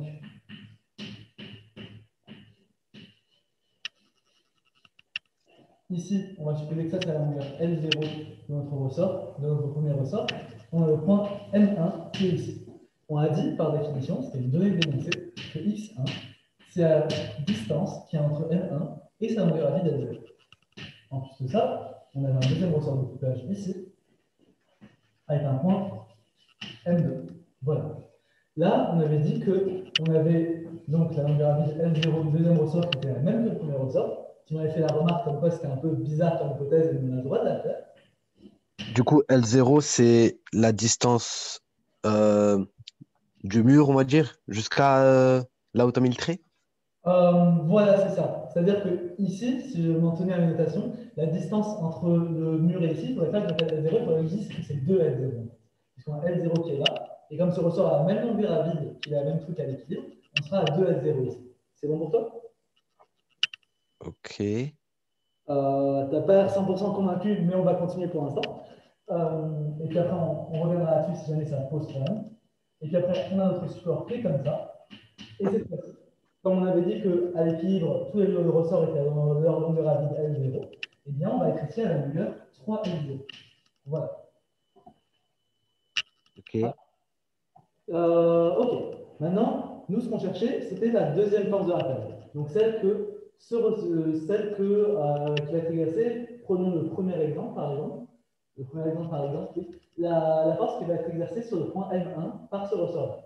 Celle-là, on avait dit, on va donner ce cadre de travail-là, qu'elle avait, on avait écrit F, M2, M1. On avait dit par définition, est-ce que tu peux me redire comment on avait écrit par définition ce que ça valait Euh, C'était euh, moins K Ok, donc ici, grand fois. L, fois L moins L0. Ok, super. Avec L qui est quoi euh, Grand L, c'est la longueur du ressort numéro 2 du milieu. Bah, quoi. Ça va être ça, la distance entre M1 et M2. Voilà. Oui, c'est ouais, la distance M2. Ok, et qu'est-ce qu'on va mettre ici comme longueur, enfin comme vecteur euh, directeur? UM2M1. UM2M1, c'est ça, merci. Euh, UM2 euh, ok, nous, ce qu'on va commencer, c'est déterminer combien ça vaut U, M2, M1. Est-ce que tu peux me dire. Moins I. Comment? Moins I. Ouais, c'est ça. En fait, on a le vecteur I qui est comme ça. Le vecteur unitaire U, M2, M1, c'est le vecteur unitaire qui va de là vers là, donc ça va être égal à moins I. Ok On est plus là après. Maintenant, on reste juste à trouver la longueur L. On indique la longueur L qui est donc ici, entre là et là ça va être la, distance, ça, ça va être la différence entre ça et ça. Tu es d'accord avec moi? Donc, c'est la distance euh, AM2 moins AM1. C'est ça, ouais. Si on reprend l'énoncé de départ, on dit que A ici, ça fait bien AM2, comme tu l'as dit, moins AM1. Est-ce que tu veux me dire combien fait AM2 ici s'il te plaît? 2L0. euh, 2L0, alors presque, on, a- on sera à 2L0 si jamais on a l'équilibre, mais quand on bouge, on va aussi rajouter une position X2. Puisque, Plus X2 alors, ok. ouais, Ouais. Euh, donc 2L0 plus X2, et maintenant il nous reste juste AM1, ça vaut combien ça, ça Euh, L0 plus X1. Exactement, super. Donc, vous avez fait ce que tu as dit. Donc, moins K facteur de 2L0 plus X2, moins, entre parenthèses, L0 plus X1. Et tout ça, c'est selon le vecteur UM de M1. Et ça, sur le vecteur, ça va aller moins. Voilà. Hop là. Et maintenant, on a juste à calculer tout ça. Donc, on a 2L0 moins L0. Oh, excuse-moi, j'avais juste oublié le moins L0 qui a été ici, qui venait de cette définition-là. Donc, ça nous fait du 2L0 moins L0 moins L0. Donc les L0 vont se compenser.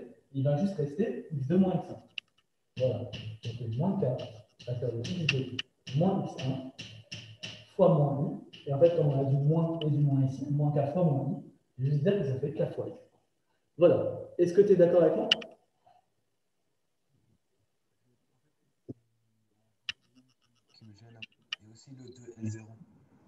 Comment?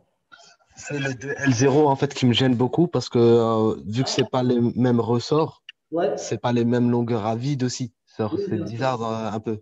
Oui, je suis d'accord, c'est très bizarre. En fait, si on était, euh, si on s'était mis dans le cas général, cette longueur vaudrait L0 et celle-là vaudrait L1 par exemple. Et dans ce cas, la longueur, ce serait L0 plus L1. Là, c'est juste une remarque de l'énoncé. L'énoncé nous dit que les trois ressorts ont la même longueur L0.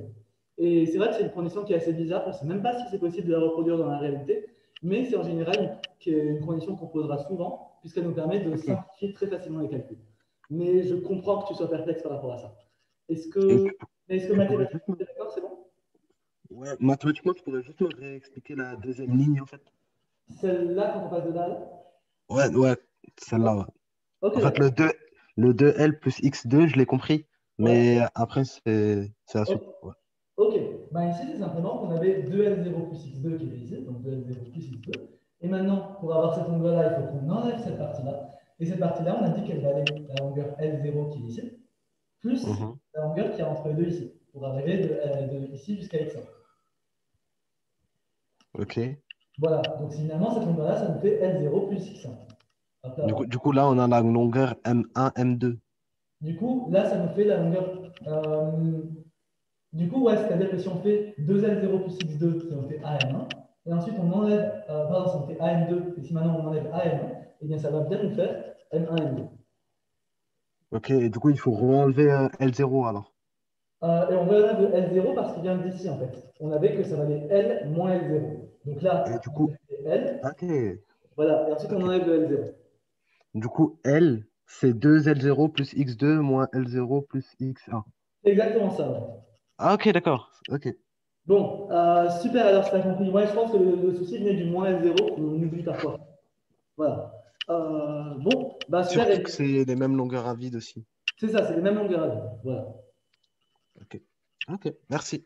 Merci à toi pour cette question. Je suis sûr que ça a été beaucoup de personnes à comprendre. Je vais répondre, enfin, je vais regarder ce qui a été dit dans le chat entre temps, et puis après, on va reprendre. Euh, donc, oui, c'était bien moins dans la deuxième équation. Ça, merci pour la remarque. Et ouais, je suis désolé, j'ai vu que tu n'entendais pas trop mon son. Euh, mais apparemment, maintenant, tu entends, donc c'est super, merci. Et question de Pauline, est-ce que ça sera toujours cette forme-là? On va devoir refaire cette réflexion pour chaque cas. Question difficile. En général, on vous donnera des, des oscillateurs de cette forme-là. Euh, mais il va. Non, non, en fait, c'est pas sûr du tout. Dans... Là, c'est le cas de base, mais vous pourrez avoir en fait de formes qui seront très différentes. Par exemple, un exercice que j'aimerais bien qu'on fasse pour la séance de demain, je rappelle qu'il y a une séance demain qui sera assurée par Laetitia, eh bien, cette fois-ci, ce sera par exemple deux pendules. Je vais le faire ici. Un pendule, un deuxième pendule, et ces deux pendules sont fixés par un ressort. Et là, par exemple, il faudra justement refaire le travail entre les forces de rappel et les forces de tension, etc. Donc, à chaque en général, on fera en sorte de vous donner des oscillateurs qui sont différents de ce qu'on voit en cours. C'est pour ça qu'ici, ce qu'il faut vraiment comprendre, c'est la méthode pour calculer la force de rappel. On utilise la formule générale, moins k, longueur, moins longueur à l'équilibre, fois le vecteur unitaire qui va de l'un vers l'autre. Et puis ensuite, on calcule le vecteur unitaire, puis on calcule la longueur L. Donc, euh, malheureusement, il y, a, il y, a, une méthode automatique qu'il faut refaire à chaque fois, mais il n'y a, pas de, a pas de solution toute faite pour nous. Mais ce qui est bien, c'est qu'on a toujours une méthode qui va, qui va toujours marcher. Voilà. Ok. Euh, T'inquiète, mais ouais, désolé, j'aurais bien aimé te donner une réponse euh, plus, positive par rapport à ça. Mais bon. Euh, voilà, on va pouvoir continuer. Comme dit, maintenant, on a établi nos deux équations différentielles et on va les résoudre. Deuxième partie, après avoir établi les équations, les équations de mouvement, on résout les équations de mouvement. Et ça, c'est toujours la partie qui est un peu nouvelle, puisqu'on a toujours une nouvelle stratégie qu'il faut, euh, faut adopter. Ici, pour les oscillateurs couplés, on va voir en quoi consiste cette stratégie. Alors, je pas juste tout à part deux belles équations. Hop là. Donc, comment qu'on va résoudre ça euh, Tu peux tout dépasser les, deux équatifs Oui, voilà. du coup, on va laisser les deux équatifs puisque c'est ça qui va être notre objet d'intérêt. Euh, j'ai demandé aux personnes qui avaient, qui avaient envie de réfléchir un petit peu à ça pendant la pause si elles pouvaient me trouver une stratégie pour résoudre ça. Est-ce qu'il y en a qui ont le temps de réfléchir et de trouver quelque chose qu'on pourrait faire Quelle va être la méthode pour résoudre ces deux équations qui sont couplées?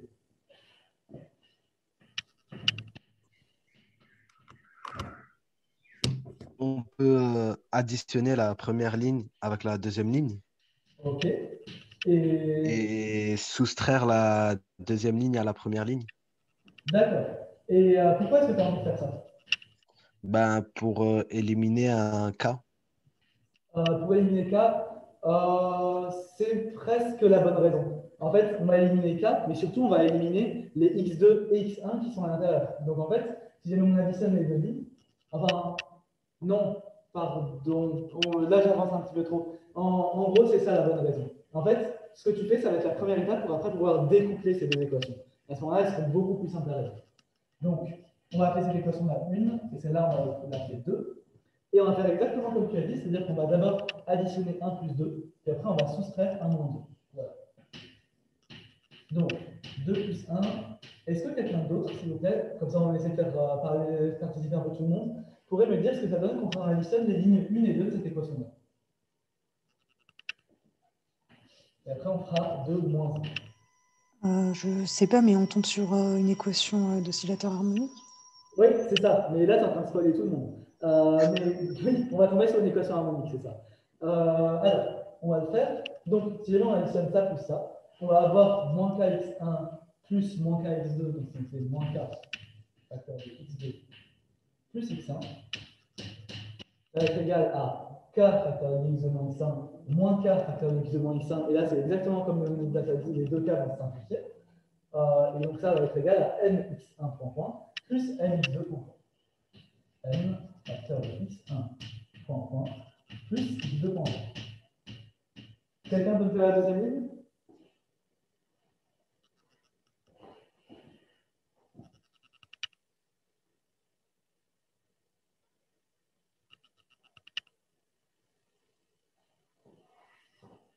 Donc, cette fois-ci, on a juste l'équation 2 et on va chercher à retrancher l'équation 1.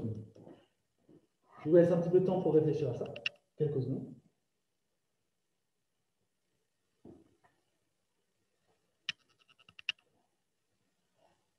J'en profite pour rappeler que c'est important, si vous le trouvez, de, de faire les calculs, ou au moins d'essayer de les faire. Parce que c'est quelque chose qui est très important. Vous avez vu, les oscillateurs, c'est un chapitre qui est assez calculatoire. Et donc, réussir à, à chaque fois à mener les calculs à bien tout en comprenant la méthode, c'est ça qui vous aidera. Si jamais vous connaissez juste la méthode, vous n'arriverez pas forcément à faire les calculs.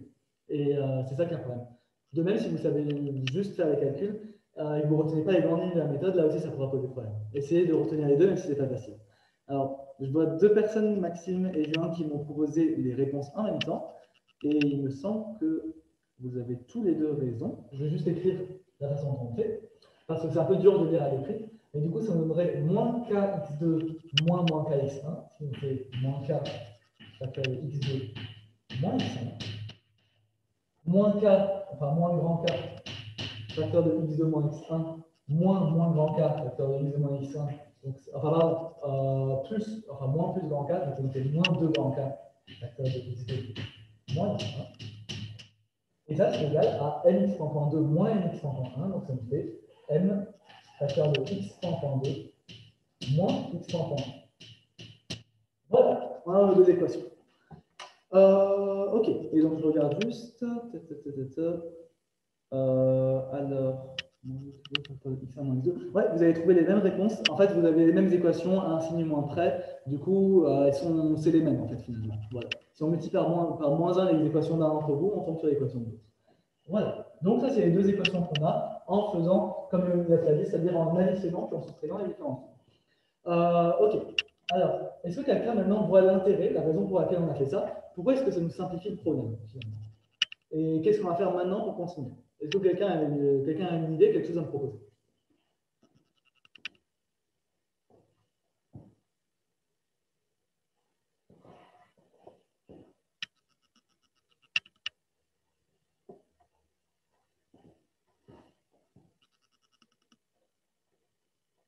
Ok, alors, ouais, je viens de voir la réponse de Maxime, on peut en déduire une équation harmonique, et c'est aussi ce que Replica avait proposé avant. En fait, maintenant, on a, on a, deux, on équations, et cette fois-ci, même si elles sont toujours en fonction de x2 et de x1, eh bien, on va avoir, on, a à chaque fois du x2 plus x1, x2 point point plus x1 point point, x2 moins x1, x2 point point moins x1 point point.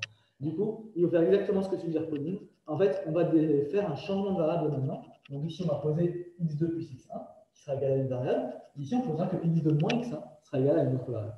Et après, comme vous l'avez proposé ensuite, ça va nous donner en fait deux équations harmoniques. C'est exactement ça. Donc, on va poser deux variables différentes. On va d'abord poser S1 qui sera égal à x2 plus x1. Ensuite, on va poser S2 qui sera égal à x2 moins x1 à ce moment-là, qu'est-ce que deviennent nos équations?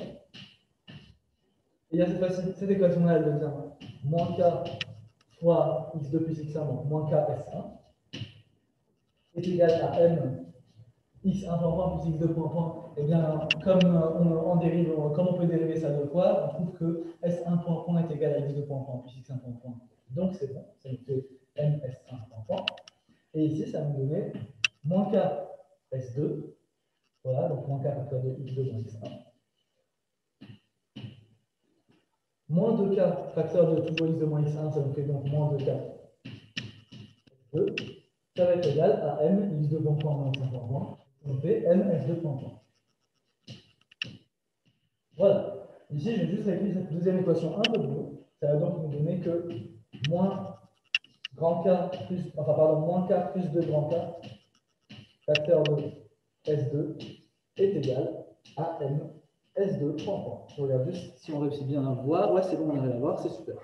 OK. Voilà donc ce qu'on trouve pour nos deux équations, celle-là et celle-là.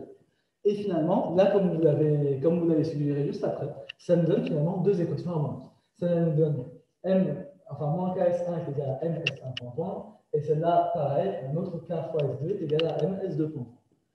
Quand on décide de tout diviser par M puis de tout faire partie du même côté, on retourne bien sur les formes harmoniques qu'on connaît ou qu'on commence à connaître.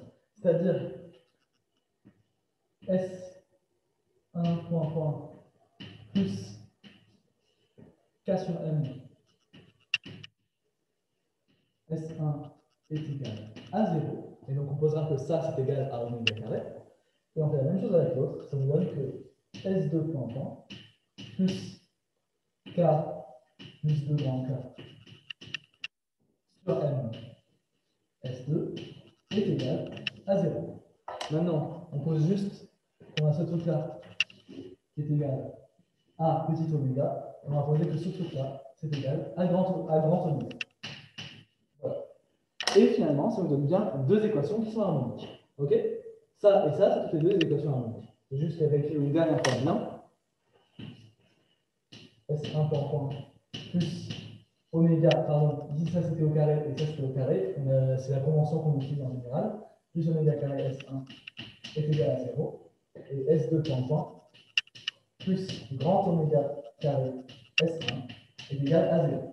Et là, on est super content parce que ça nous donne bien deux équations harmoniques. Donc on est passé de deux équations qui étaient compliquées et qu'on ne savait pas résoudre à deux équations harmoniques libres qu'on sait parfaitement résoudre. Du coup, c'est super. Maintenant, il reste juste à donner leur solution qu'on a, déjà, qu'on déjà écrit plusieurs fois. Et on va les réécrire tout de suite. Donc, j'efface. En attendant, dites-moi juste si c'est clair ou si c'est pas clair. Voilà. Comme ça, parce que j'ai pas envie qu'on continue la suite, euh, parce qu'on a encore euh, quelques autres trucs à voir. J'ai pas envie qu'on continue la suite si jamais c'est pas parfaitement clair pour tout le monde.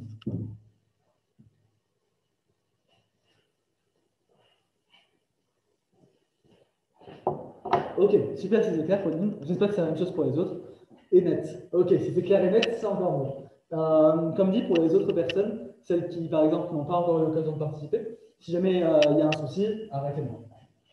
Alors, finalement, là, on a juste à, trouver, à donner leurs deux solutions. Donc ça, c'est une équation harmonique. On sait que la solution, elle va être de la forme S1 est égal à A cos oméga t plus B sin oméga t. On a dit qu'une autre façon dont vous pouvez écrire, c'était A cosinus oméga t plus phi, mais que cette forme-là, qui était la même, est un petit peu plus pratique si on veut déterminer les conditions initiales. S2 est égal, et là on fait exactement la même chose, donc c'est la même équation. Eh mince, excusez-moi, euh, ici j'ai écrit encore une fois S1, après c'est bien S2 ici. Voilà. Ici on aura que S2, et du coup, là ça va être égal à aussi A cos oméga t plus B sinus oméga t. Et donc pour bien les différencier, on va appeler ces variables-là A1 et B1. Voilà. Ici ça nous donnera donc B, pardon, je m'embrouille, ça nous donnera A2 cosinus de grand oméga t plus B2 sinus de grand oméga. Voilà donc pour nos deux solutions. Ok, super. Maintenant, il nous reste juste un dernier truc à faire, et ça va être de repasser sur les variables qu'on utilisait au départ, c'est-à-dire x2 et x1.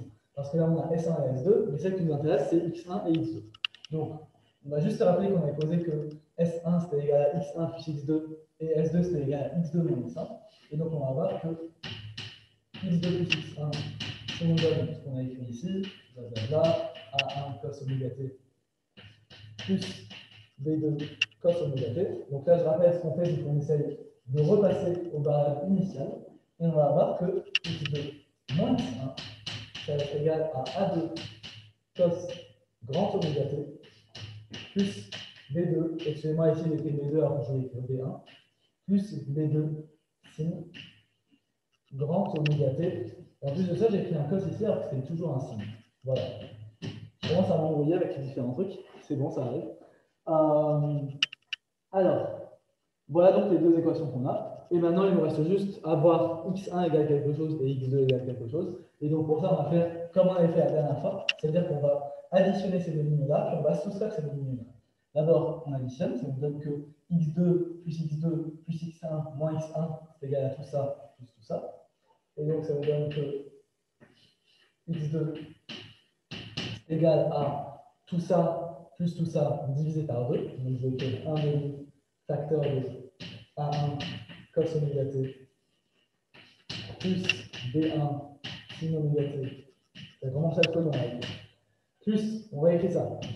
A2 cos oméga t, grand oméga t, cette fois, plus B2 sinus grand t, Et on a la même chose pour x2, enfin pour x1, pardon. Cette fois-ci, on fait ça moins ça. Et donc ça nous fait x1 est égal à 1 demi. Donc là, ça nous faisait que 2x1 est égal à ça plus ça, et maintenant je divise tout par 2. Et ça nous fait donc la même chose ici, donc A1 cos oméga t plus B1 sin oméga t. Sauf que cette fois-ci, on enlève ça, puisqu'on a fait ça moins ça. Donc nous fait moins A2 cos grand oméga t moins B2 sin grand oméga t. Voilà. Ça, c'est truc contrôle. Et là, on dirait pas, on a l'impression que le résultat est dégueulasse, mais finalement, on a trouvé bien les solutions cherchait. On a trouvé x1 et x2. Et du coup, pour moi, c'est euh, l'occasion de se réjouir. C'est super. On a, on a bien résolu notre problème finalement. On est arrivé au. Voilà donc, pour les oscillateurs couplés, comment on met en équation et comment on résout l'équation. Voilà. Maintenant, il nous reste un dernier truc à faire. Ça va être d'utiliser les conditions initiales pour justement donner la, la vraie forme qui correspond à notre problème.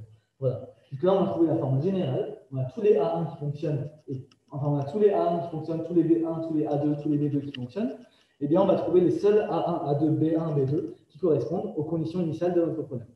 Celles-là, on ne les a pas encore posées quand j'ai donné l'énoncé tout à l'heure. Et donc, je vais les donner maintenant. Donc, je répète, l'objectif qu'on va avoir maintenant, ça va être d'utiliser, de voir si en nous donnant un certain nombre de conditions initiales, on réussit à trouver A1, A2, B1 et B2. En fait, vous vous doutez peut-être déjà qu'on réussira à les trouver si on se donne quatre conditions initiales, 2 sur x1 et 2 sur x2, euh, puisque on a vu que pour une équation différentielle avec quatre constantes d'intégration, eh il nous fallait quatre conditions initiales pour la résoudre. C'est quelque chose qu'on fait depuis le premier semestre. Donc peut-être que vous commencerez à vous en rendre compte, mais on va voir comment on fait ça. Ce sera au programme du CC, tout ça, je suppose. Ça dépend. Si tu es en physique, oui. Si tu es en chimie, Peut-être pas. Enfin, c'était dans les autres filières que les filières PSI, normalement non. Euh, voilà. Mais même si tu n'es pas, si pas dans une filière PSI, c'est possible qu'on te donne ça au CC en te guidant pour le trouver. Voilà. Euh, mais en tout cas, ce n'est pas quelque chose qu'il faudra redémontrer euh, mécaniquement comme si tu étais en PSI par exemple. mécaniquement, sans mauvais jeu de mots, bien sûr. alors, on y va. Donc, on a dit le but maintenant, ça va être d'utiliser des conditions initiales. OK? Donc, on se donne comme condition initiale. Donc, les conditions initiales, c'est toujours quelque chose qui est donné par l'énoncé.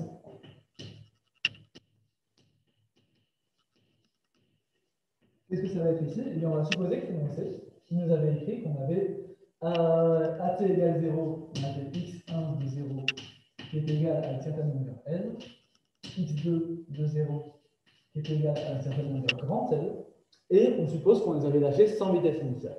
Autrement dit, on avait x1 point de 0, donc la vitesse en 0 qui était nulle, et de même x2 point de 0.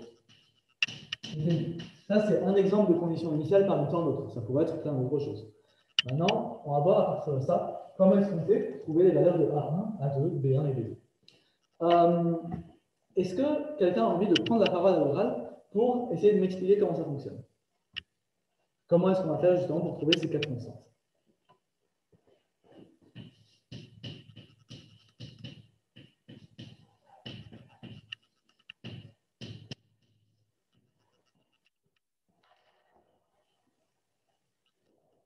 Maintenant, je vais passer ça.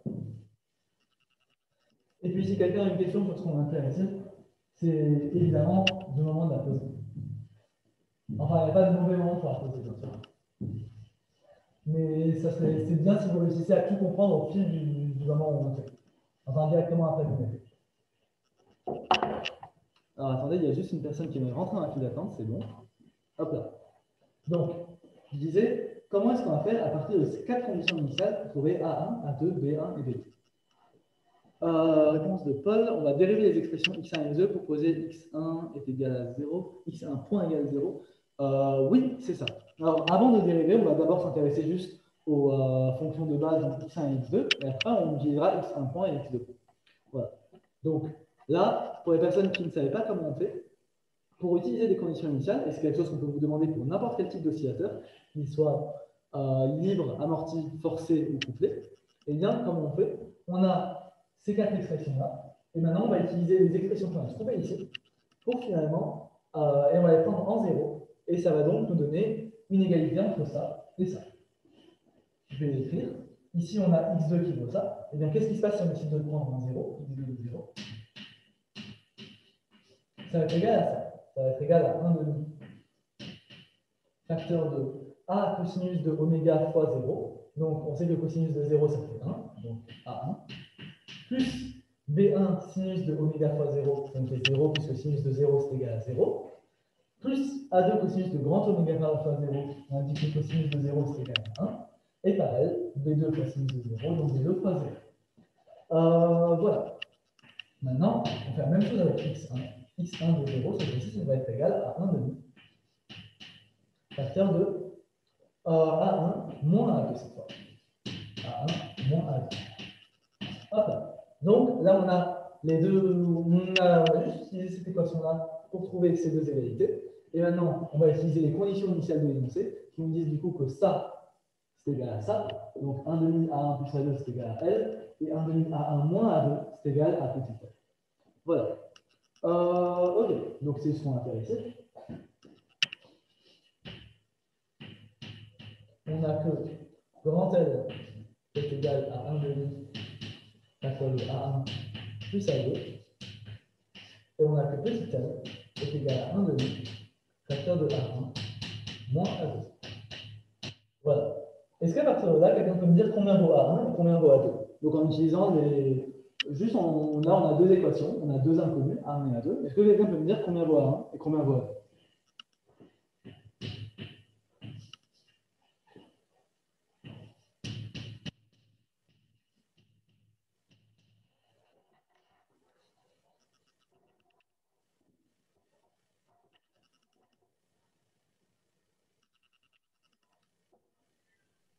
A1, c'est égal à grand L plus petit L.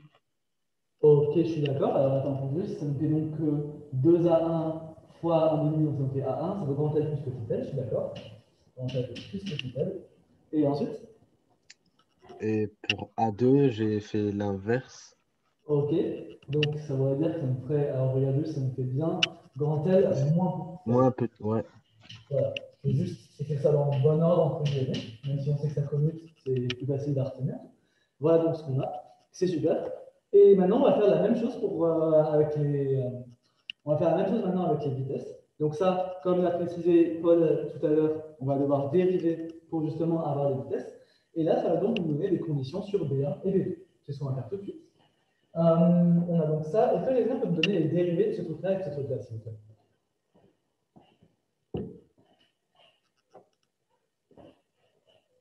Donc, je vais passer ça. Et maintenant, on va passer au calcul des dérivés. Donc, on aimerait dériver ça et dériver ça. Et ensuite, on les prendra en zéro pour utiliser ces deux conditions initiales. Exactement comme on a fait avec celle-ci.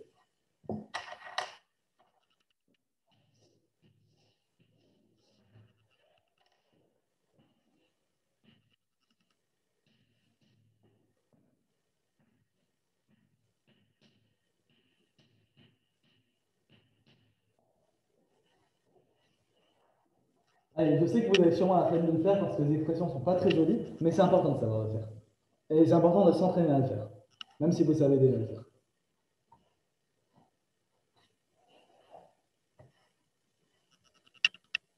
Pourquoi dans le PDF, il y a le 1,5 qui manque? Euh, Parce que dans le PDF, je me suis trompé, tout simplement, je suis désolé. Euh, il va, je vais vous redonner une version corrigée du PDF. En fait, euh, Ouais, j'ai fait une petite erreur ici, je m'en suis rendu compte quand justement euh, votre camarade m'a dicté les conditions initiales. Euh, moi, j'ai rajouté ou oublié un, euh, ou oublié un, un, facteur 1 dedans. Euh, ouais, c'est le, c'est pas le PFD, c'est bien le PDF cette fois-ci. en L1, j'avais un pote à un moment, on a fait au tableau pour écrire le PFD, il a écrit PDF et puis tout le monde avait rigolé. Mais bref. Du coup, euh, oui, dans le, PDF, du coup, il y a un petit souci sur les conditions initiales, et donc je vais corriger ça. Voilà. T'inquiète pas de problème, et merci beaucoup pour la remarque. Euh, ok, est-ce que du coup, quelqu'un a eu le temps de nous dériver un de ces deux trucs?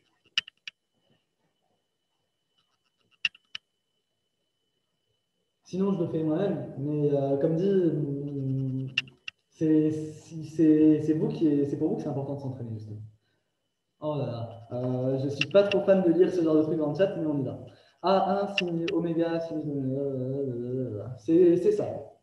Navré, c'est pas grave, je suis excusé. Je vais, je. Donc, mais normalement, c'est le bon truc que j'ai. On vérifie tout ça. Donc, on a oméga, on a cosinus qui a un moins sinus et l'oméga qui va sortir. Ça nous donne moins A1 oméga sinus de oméga t plus B1 oméga du sinus de B1 plus cosinus cos de oméga t. Là, vous voyez déjà comme les cosinus deviennent des sinus et les sinus des cosinus, quand on prendra en zéro, il va y avoir que les B1 qui vont rester cette fois-ci et les A1 qui vont disparaître cette fois-ci. Moins A2 grand oméga. Sinus, ah, pardon, oui c'est ça, c'est sinus de oméga t, sinus grand oméga t. Et je vais juste enlever ça pour terminer d'écrire. Euh, plus B2 grand oméga. Cosinus t. Hop là. Et on fait la même chose avec x1. Et cette fois-ci, ça va nous donner. Et j'ai juste oublié le facteur 1 demi qui être ici. Hop là. 1 demi, qui était au tout début. On va faire la même chose ici. Ça va nous donner du moins A1 oméga. Bon, on sait comment ça marche. Mais on va quand même l'écrire pour bien tout avoir. Plus B1 oméga cos oméga t. Plus A2 grand oméga sinus du grand oméga t. Et là, cette fois-ci, on a du moins B2, si je dis pas de bêtises, c'est moins B2, grand oméga cos de grand oméga t. Tout ça divisé par 1. Hop là. Ok. Finalement, maintenant, il nous reste juste à les prendre en zéro, exactement comme on a fait avant avec les fonctions de base. Là, on fait la même chose avec les dérivés. Utilise ces deux conditions initiales. Et ça nous donne que x2 point de 0 c'est égal à. Donc, tous les sinus vont nous donner, nous donner pardon, 0 puisque sinus de 0 est égal à 0. Et tous les cosinus vont cette fois-ci nous donner 1 puisque cosinus de 0 est égal à 1. Ça nous donne donc que x2 point de 0 est égal à 1 demi facteur de B1 plus B2. Pardon, je suis allé un peu trop vite, c'est B1 petit oméga plus B2 grand oméga, puisque c'est ces termes-là qui sont un facteur. Et pareil avec x1 point de 0. Mais, mais x commence à avoir des têtes bizarres. Ça, nous donne- ça va nous donner cette fois-ci 1 demi facteur de B1 oméga moins B2 oméga. Voilà. Et ça, grâce aux deux conditions initiales, on sait que ça vaut 0. Mais toi, quand tu es en L1, il y avait le tutorat. Euh, quand j'étais en L1, il y avait le tutorat, mais il n'était pas très développé. En fait, il n'y avait personne qui y allait. Et c'est quand je suis passé en L2 que c'est moi qui ai pris le tutorat, euh, qui ai pris en main le tutorat. Et, et puis, du coup, voilà. Euh, ok. Du coup, ça, c'est les deux conditions. C'est ce qu'on a trouvé en dérivant simplement les expressions qu'on a vues ici et en les prenant en zéro. Et maintenant, on va juste utiliser les deux conditions initiales qu'on a ici. Et donc, ça nous dit que ce truc-là, c'est égal à 0. Et ce truc-là, c'est aussi égal à 0. Voilà. Incroyable. Ah, merci, merci. c'est toi qui as donné sa grandeur. Ah, la grandeur, vous le savez, c'est grâce à vous. Moi, si je donnais mes cours tout seul comme ça, ça ne servirait pas à grand-chose. du coup, euh, merci à vous de me faire confiance comme ça et, euh, de venir à mes séances. Ça me fait incroyablement plaisir. On va terminer ce problème. Je vous promets que là, euh, c'est assez fastidieux. Il y a beaucoup de calculs, mais on a presque terminé. Et du coup, je pense que vous serez très contents une fois qu'on aura tout trouvé. Donc, j'ai plus beaucoup de place par pour tout terminer. Mince, du coup, j'ai passé les solutions qu'on avait réglées après, mais c'est pas grave. Du coup, maintenant, on utilise juste le fait que tout ça c'est égal à 0. Et ça nous donne que 1 demi facteur de B1 petit oméga plus B2 grand oméga est égal à 0.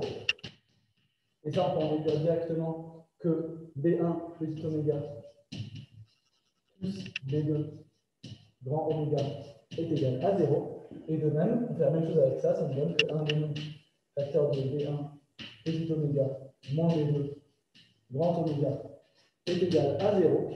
Et donc là, cette fois-ci, on a que B1 petit oméga moins B2 grand oméga est égal à 0. Et là, on a additionné en soustrayant les lignes exactement comme on a fait avant. Et bien, on trouve finalement que B1 est égal à 0 et que B2 est égal à 0. Voilà. Donc là, on a trouvé nos quatre conditions initiales, A1, A2, B1 et B2. Et on peut maintenant les injecter dans l'équation que je viens d'effacer. Ce qui, du coup, n'était pas très malin de ma part.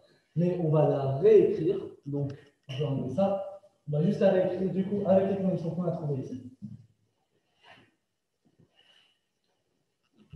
Et ça, ça va nous donner ça. Ça va nous donner que x2 est égal à petit l plus grand L facteur 2 cos petit oméga t moins, euh, non, il me semble que c'était plus cos de grand oméga t. N'hésitez pas à me dire si je me trompe, mais il me semble que c'est ça. Et pareil pour x1. Du coup, là, j'ai juste remplacé A1 par L plus L et A2 par. Hmm, attendez, est-ce que pas une bêtise? Euh, semble que j'écris une bêtise. Est-ce que quelqu'un s'il vous plaît, Oula. Est-ce que quelqu'un s'il vous plaît, me redonner les expressions que j'ai effacées tout à l'heure? J'ai pas envie d'écrire de bêtises ici. Euh, où sont les A? Je n'ai pas suivi. Ah, euh, super si tu compris alors. Et ouais, merci Antoine pour avoir expliqué après. Est-ce que quelqu'un s'il vous plaît, me redonner les expressions ici? Parce que euh, j'ai été un peu débile et du coup, je les ai, du coup, je les ai effacées. Et on va, on va juste les remplacer A1 et A2 par ça.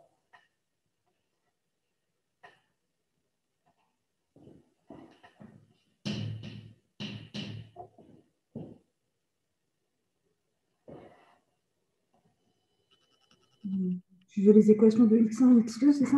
C'est ça, ouais, celle qui dépendait de A1, A2, B1 et B2 et qu'on va remplacer juste après. Donc, un cours un demi avec euh, les A1, B1 et B2. hein. C'est Ça, ça. c'est ça. Donc, euh, A1 cosinus d'oméga t, Ok, B1 sinus d'oméga t, ok, merci. fois. Ensuite, plus A2 cosinus grand oméga t, Ok, B2 sinus grand oméga t. ok, merci. Et du coup, les autres équations, c'est la même chose, juste avec un moins. C'est ça. Ok. A2 et B2. Donc là, ça va être la même chose, mais avec un moins ici. Du coup, finalement, si on remplace A1 par L plus L et A2 par L moins L, qu'est-ce que ça va nous donner? Ça va nous donner L cos oméga t plus L grand cos. Alors, attendez. On va, on va essayer de faire ça proprement. Je vous invite à le faire en même temps. Donc là, j'ai un petit peu perdu pied. Du coup, on va, faire ça proprement pour être sûr. Du coup, on sait déjà qu'on a B1 et B2 qui valent 0. Donc on va pouvoir supprimer ça et ça.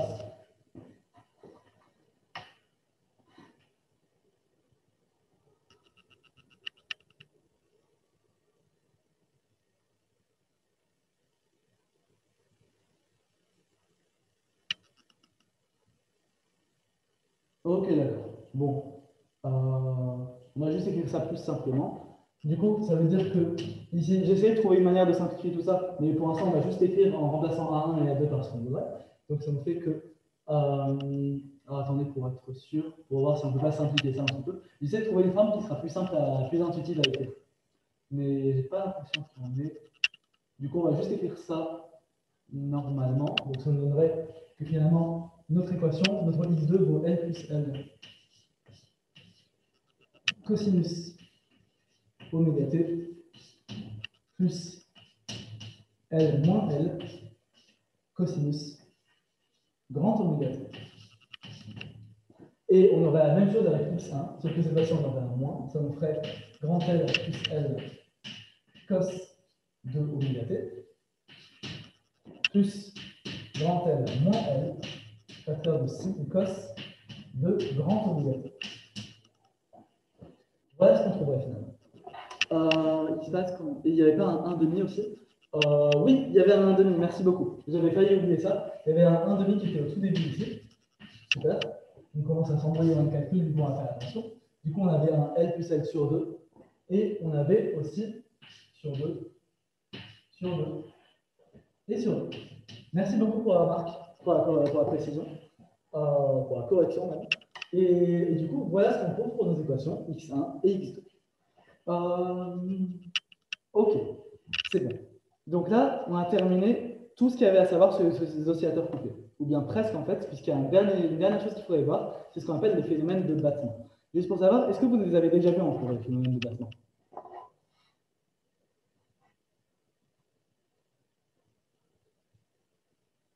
C'est un moins ou un plus pour x1. Pour x1, il y a un oui, merci beaucoup pour la main. C'est un moins. Merci. OK. Donc, vous n'avez pas encore vu les phénomènes de battement. Alors, ce que je vous propose, c'est qu'on va attendre que votre professeur en parle pour que, après, justement, on puisse euh, discuter des battements. sur la prof, on en parler un peu. OK, d'accord. Euh, ça, c'est quelque chose qui est. On a déjà fait beaucoup de choses pour cette séance. Il y a eu beaucoup d'équations à manipuler. Du coup, je n'avais pas prévu qu'on fasse les battements pour cette séance. Donc, je vous propose qu'on les voit la prochaine fois. Euh, soit la semaine prochaine, si on refait une séance sur les oscillateurs, soit directement demain, si jamais on, a le temps avec les différents exercices. Nous, on a fait les ondes. On fait les ondes. Ok, d'accord. Donc, on va pas trop s'attarder sur les oscillateurs couplés, puisqu'on va voir les ondes qui sont aussi un chapitre qui est très important. Voilà. Donc, là, on a terminé pour tout ce qui était oscillateurs couplés pour l'instant. Euh, quelques petites annonces rapidement avant qu'on termine la séance et que je réponde aux questions.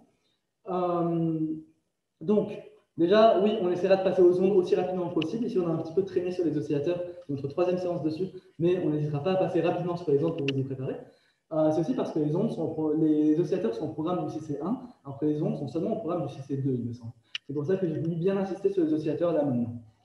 Euh, ça m'étonne que vous ayez fait les ondes aussi rapidement, puisque moi, il me semblait qu'on ait fait les oscillateurs jusqu'au CC1 et qu'après, seulement après le CC1, on avait commencé les ondes. Mais bon, c'est peut-être l'effet confinement, je ne sais pas, ou bien, les professeurs qui, ont vraiment, qui en ont vraiment eu marre des oscillateurs, je ne sais pas. Je ne les ai pas faites moi encore. Ok, d'accord. Bon, ça rassure. On n'est pas trop en retard finalement. Les profs ne sont pas trop en avance. Et tant mieux parce que ça ne sert à rien de tracer le programme. Euh, quoi d'autre? Euh, merci, merci vraiment à tout le monde pour être venu à cette séance.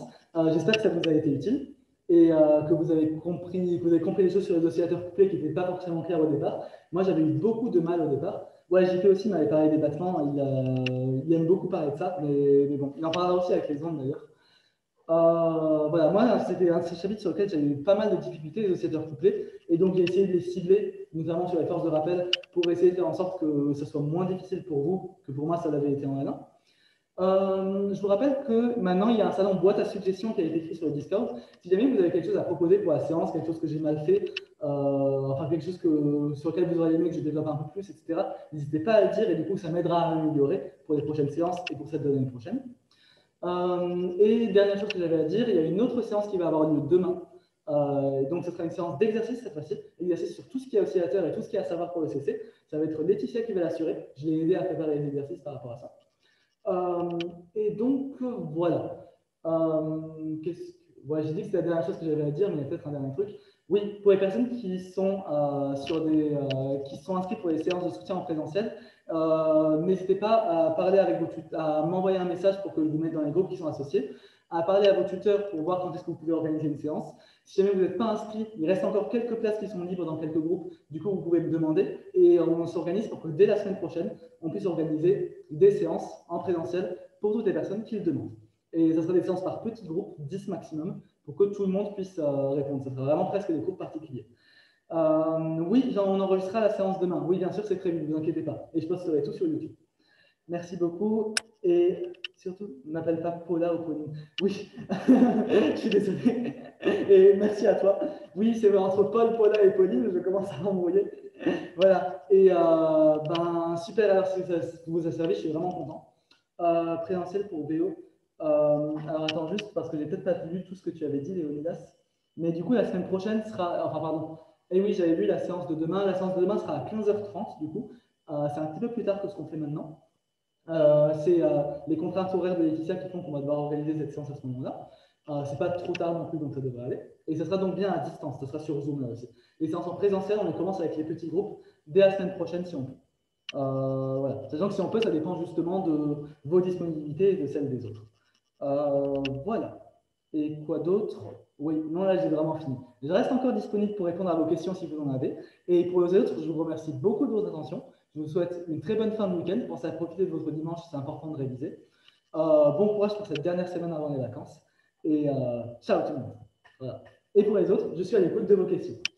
Demain, c'est oui, demain, c'est aussi que les oscillateurs. ça. J'essaie de vous préparer au maximum avant le CC1, qui sera que sur les oscillateurs normalement. Merci, merci, merci. Ciao. Alors, je vais passer pour les éventuelles questions, mais peut-être qu'il n'y en a pas. Et, dans ce cas, c'est super aussi parce que ça veut dire que vous avez tout compris et je suis content pour vous.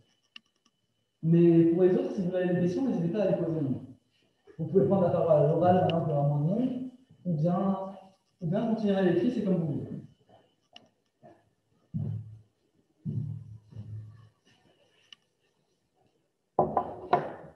Bon, euh, j'ai l'impression qu'il n'y a pas de questions. D'habitude, il y en a à la fin des séances, mais euh, ici, tout a l'air bon. Bon. J'attends encore quelques secondes pour voir, et sinon, on arrêtera la réunion. Enfin, moi, j'ai une petite question. Je suis désolée. Arrête de t'excuser pour ça, c'est c'est super que tu aies des questions à poser, et je suis sûr que ça va servir à d'autres personnes. en plus. Euh, en fait, moi, j'ai essayé de refaire euh, la semaine dernière, du coup, l'exercice 1.3 que Pauline en avait déjà parlé. Ah. Euh, Est-ce que c'est possible que je, je partage mon écran pour bien t'illustrer? Parce que j'ai pas mal de Oui, Vas-y, tu peux le partager, et comme ça, les autres qui veulent regarder, regarderont aussi. Alors,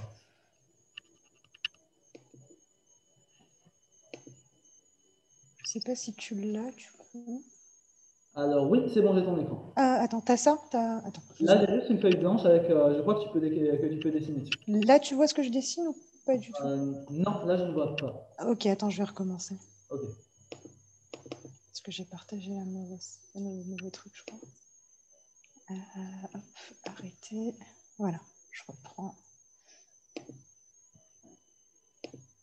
Alors, Tu, tu l'as maintenant? Euh, attends juste, je crois que ça charge. Ouais, là, je crois que ça va marcher. Donc là, j'ai une. Ouais, je te vois dessiner. Super. Super. Donc en fait, en gros, c'est deux euh, ressorts attachés euh, au mur, du coup. Euh, donc à l'équilibre, on a une force qui est comme ça et une force comme ça, si c'est bien ça. Ah ouais. Quand on a l'équilibre, mais par contre, quand par exemple on va, on va pousser vers ce côté-là, donc hop, comme ça, Hmm. Donc, on va voir les forces qui vont, par exemple, ici, la force de rappel sur le ressort numéro 1, il va avoir tendance à revenir ici. Et l'autre aussi, c'est bien ça, hein, il, va, il va revouloir revenir à sa position d'équilibre. Donc, les deux forces seront sur, euh, le- dans le même sens Euh, c'est ça, oui. quand on est en mouvement.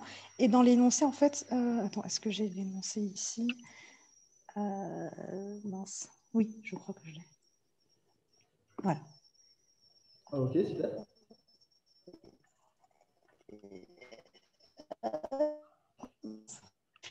En on dit. euh, Attends, je vais reprendre. Quelques petites connexions, je ne t'entends pas très bien. Mais j'ai l'impression que. Tu m'entends pas très bien? Euh, là, c'est bon, ça va mieux, mais il y a eu quelques, un petit souci de connexion à un moment. Mais là, ça va. Ça marche. Euh, donc, en gros, sur euh, l'énoncé, on nous dit le solide, le, solide accomplit des oscillations de translation parallèlement à A1 et A2. Donc, je te dessine si tu veux. Donc, A1, c'est ici Ouais. et A2, c'est là. Ce qui fait que, en fait, nous, la prof, elle nous a donné la position d'équilibre directement en nous disant que L1 est égal à. Je vais ressortir ma feuille pour ne pas écrire de bêtises. Donc voilà, elle nous a dit que la position d'équilibre est égale à delta L1 plus L1, 0. Ça, c'est bien parce que dans l'énoncé, on nous dit euh, parallèlement à A1, A2. C'est pour ça qu'on arrive à fixer ça comme... euh, Euh, alors, quand on dit que c'est parallèlement à 1 à 2, là, le seul truc que ça vous dit, mais c'est déjà un truc assez fort, c'est que le problème va être unidimensionnel. Donc, tous nos vecteurs seront selon i. C'est juste ça que ça nous dit, en fait. C'est vraiment que ça, parce que nous, elle nous a dit qu'elle trouvait la position d'équilibre à partir de l'énoncé. Moi, en dehors de ça, je ne vois pas de chose qui va nous indiquer pour nous dire que euh, ça, sera delta, ça sera L1, euh, la position d'équilibre, Mhm. parce que euh, ça, ça peut bien être L2 aussi. Tu vois ce que je veux dire? Juste pour savoir, qu'est-ce qui est dans les trois grandeurs que tu vas donner ici, L1, delta L1 et L1, 0, qu'est-ce qu'il y a comme grandeurs qui sont déjà dans l'énoncé Alors, dans l'énoncé, donc on a delta L1 et delta L2 qui est défini, mais euh, elles ont des valeurs différentes. Donc, delta L1, elle sera sur euh, 10 cm et delta L2 sur 8 cm. Et qu'est-ce que c'est en fait? C'est la différence entre la longueur à vide et la longueur à l'équilibre, c'est ça? Oui, c'est ça. Ok. Et donc, euh, finalement, dire Et L1 ici, ton L1, c'est juste la longueur à l'équilibre, c'est ça Puisqu'on considère. C'est ça. C'est ça, c'est ce qu'elle nous a dit. Ok.